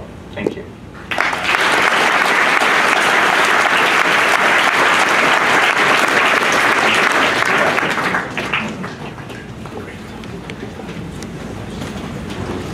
Thank you. Well, um, we're getting to the end of the day here, and we're going to wrap it up, I promise, pretty shortly. Uh, I don't know what it was like for you. For us, it's been a rush. It's been amazing to have all these people on stage with us and sharing with you some of the latest things they are doing at the forefront. Um, sometimes it feels like we are really hyperbolic and there's massive hype in the space, but at the same time, you know, there's some real changes happening, and sometimes it's, it's happening faster than you can think of. It's just happening behind the scene, and so you know, I think as investors in the space, we see a lot, and that's part of the pattern recognition, but uh, we wanted to wrap up the session here with a few highlights, which I'll turn over to Nicolai, um, you know, about what happened today, and then just like tell you a little bit where things are going in your minds. Uh, thank you, Ben, um, and thank you for keeping the show running here on stage all day. Um, so I want to thank all of you to, for coming today and making part of what I personally think was a very successful event. Um, I'm very biased, of course, but a lot of you guys told me in between the sessions today that you've been pretty excited about what happened today. Uh, so I'm the really glad to. Part. The coffee is the best part, which is uh, our resident Italian Luigi is the one that makes sure that we have real coffee, of course. He, he keeps our standard pretty high. And in the comments, we did the coffee, the real coffee last year. We did it this year. We're going to do it next year. It's not going to go away. Um, so if anything, come back for coffee. Yeah, if, if nothing else. Um, but again, very excited about today. Uh, it's been great for me, and I hope it's, as I said, for you as well. Uh, very excited. And, and I know we're standing between you and alcohol. Um, and I grew up in Sweden, and then and you don't want to stand between the sweets and alcohol for sure. Um, but anyway, so a few highlights of, of, of, of, what we talked about today. I think one of the things um, I want to touch a little bit on the ending notes from uh, from Richard, which was we should not regulate AI, and the reason for that is that it's a generic technology. We need to look at where it's applied and how that matters. And today there's starting to be talk about, is it dangerous to be regulated? Uh, so, so dangerous should be regulated, right? Maybe it is, maybe where it's applied. But I think to, for, to what Paul said uh, early this morning was that AI is not a vertical. It's not one thing. It's like we've seen with other technologies like the internet and computers. It's an alpha trend. It will transcend everything and it will shape everything. Um, I don't think that's important to remember. That's what we care about. That's what we think is so big. We think this is really the fourth wave of industrial revolution.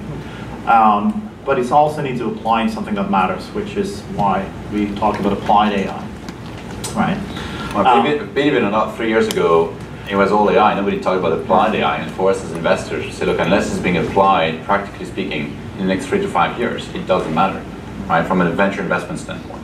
Yeah, and I think that's going back to how uh, we talk internally when we talk about the conference. There are three pillars that we build the content and thinking around this, and it's it's how AI is impacting people, organizations, and society as a whole. Um, and we try to build content and a narrative, and, and what we do during this conference around those things.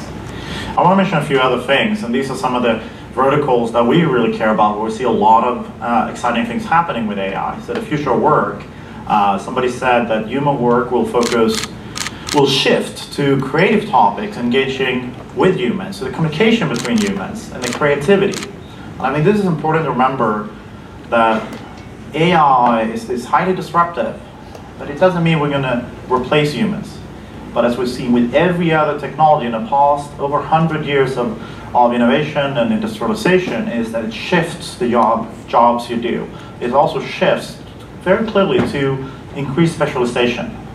And there are things with AI that we never could even think about having computers and machines to do, but they- they're also going to be able to augment to do things that humans never could do. And that combination, we believe, is extremely powerful, augmenting human capability. Right?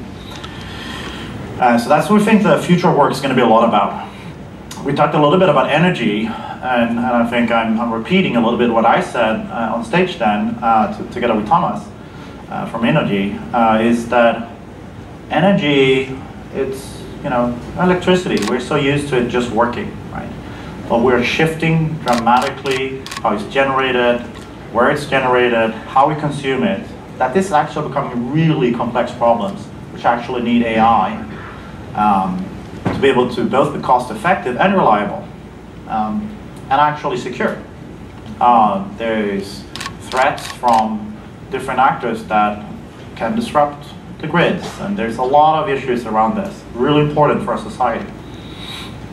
And another area, sounds like I'm, I'm very dystopian here. Well, you're always anticipating the next slide. I'm wondering if you're AI powered, but. I don't know. but you know, let's talk about cybersecurity. Uh, so Penn talked a little bit about how passwords are not enough, um, and I don't know. Uh, to me, the past two years, from data breaches with Equifax to an election or two or things around the world, uh, I think it's pretty apparent that we need to live in a world where even things like social media that we find, might not think is as point and secure as our bank accounts or other things, they actually, when you don't know who is actually impacting them, when you don't know what person really is behind attrib- attributing and behind what's going on, it can be abused, really, with really severe consequences, right? This is really important. Um, and again, it's also a complex problem where, as we are seeing it, we're already invested in companies like PIN, which are using AI to be able to do that and achieve that, right? Well, I love the part where you don't have to memorize your PIN and change it every two weeks. Yeah. Well, I don't like a password. You know, if the systems just know it's me, that's fine, right? Um, and then I think I want to touch on the last point uh, that uh, Dr. Jane Macfarlane spoke about, is that, you know, we're increasingly going to a world where we're talking about um, autonomous transportation. We're talking about, uh, we, we, have, we, have, we have the cities of the world are becoming, you know, we're almost, you know, there's migration into the cities. 200,000 people move into cities every day around the world. Yeah. 200,000. We're moving more and more into cities and urban areas. And so it's going to get worse, not better, unless we solve this problem.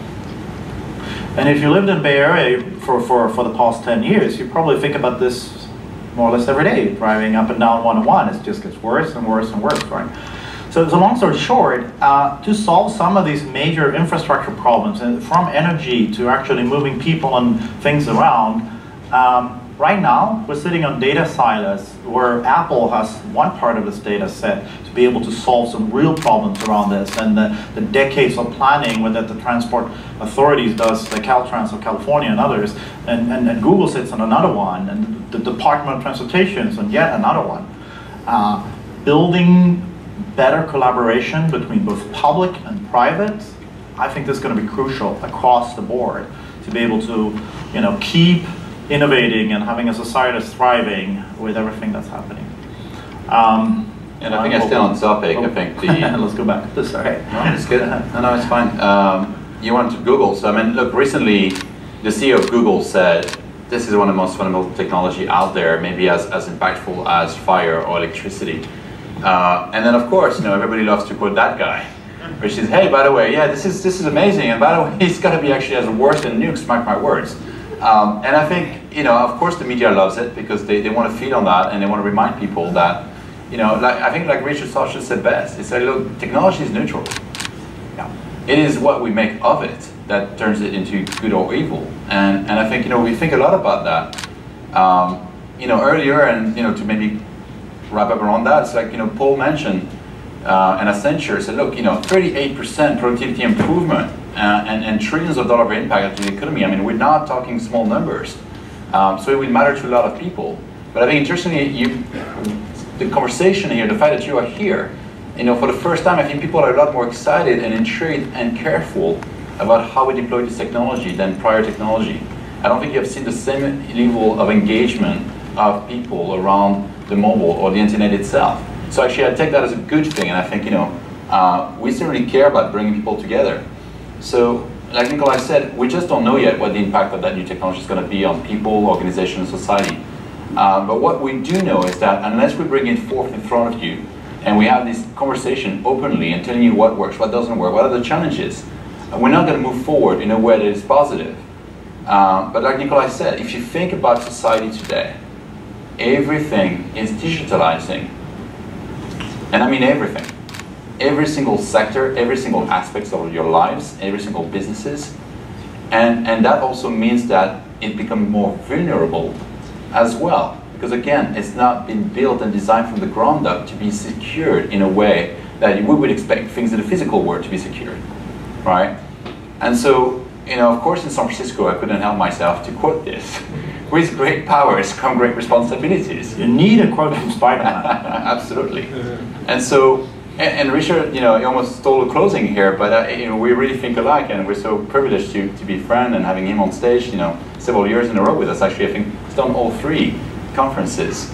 Um, but we are the architects of our future. Don't look to point the fingers at others. What are you doing? We're all designing our futures. The founders out there designing the futures. And, and so, like Nicolai said, let's not go build a world where we pit machines against humans. This is not the world that I want my children to grow up in. This is not the world I want to invest in.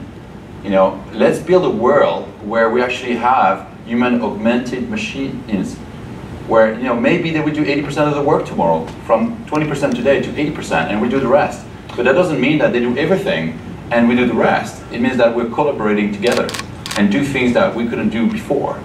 So, and, and, and, and to jump in on that, right, it's, it's, and it's not only there's a moral and ethic piece of this, but it's also what we, we've seen already in our portfolio of, of AI companies is that this augmentation of humans, the combination of having machines do what they do best with AI and having humans do what they do best and combine that in a very deliberate um, and efficient way actually creates orders of magnitudes in scale and quality output, right? So, so bottom line, you build more successful, more valuable companies if you figure out how to do this well as well. So I'm sure you were not expecting a quote from Michael Jackson, but if you think about it. Well, we've got Spider-Man, get a Michael Jackson. Well, you know, it's like if you want to make the world a better place, just, you know, take a look at, at yourself and make a change. And I think that was such powerful lyrics. And, and, and, you know, in the context of venture capitalists, we say, well, we kind of have the same, but we play it a bit differently. We say, you know what? If you see a founder that's investing in the future you want to see in the world, invest in them, right? Because ultimately, people are changing the future by making it happen now. And so with that, you know, at Bootstrap Lab, we just happen to be uncovering the future by investing in Apply AI. And with that, thank you so much, and let's go have a drink next Thank you, guys.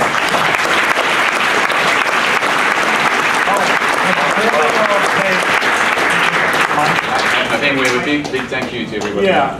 We don't mind? On. Okay, so we also want to, you know, a big thank you to the rest of the team. So I can take no credit for this amazing conference. Ben has been amazing today. Luigi, Mark, Ed, And and, with uh, Dana, and team has been Kevin, and the whole production team, all Thank of you you. so. Thank you so much. Thank you so much. Thank you so much.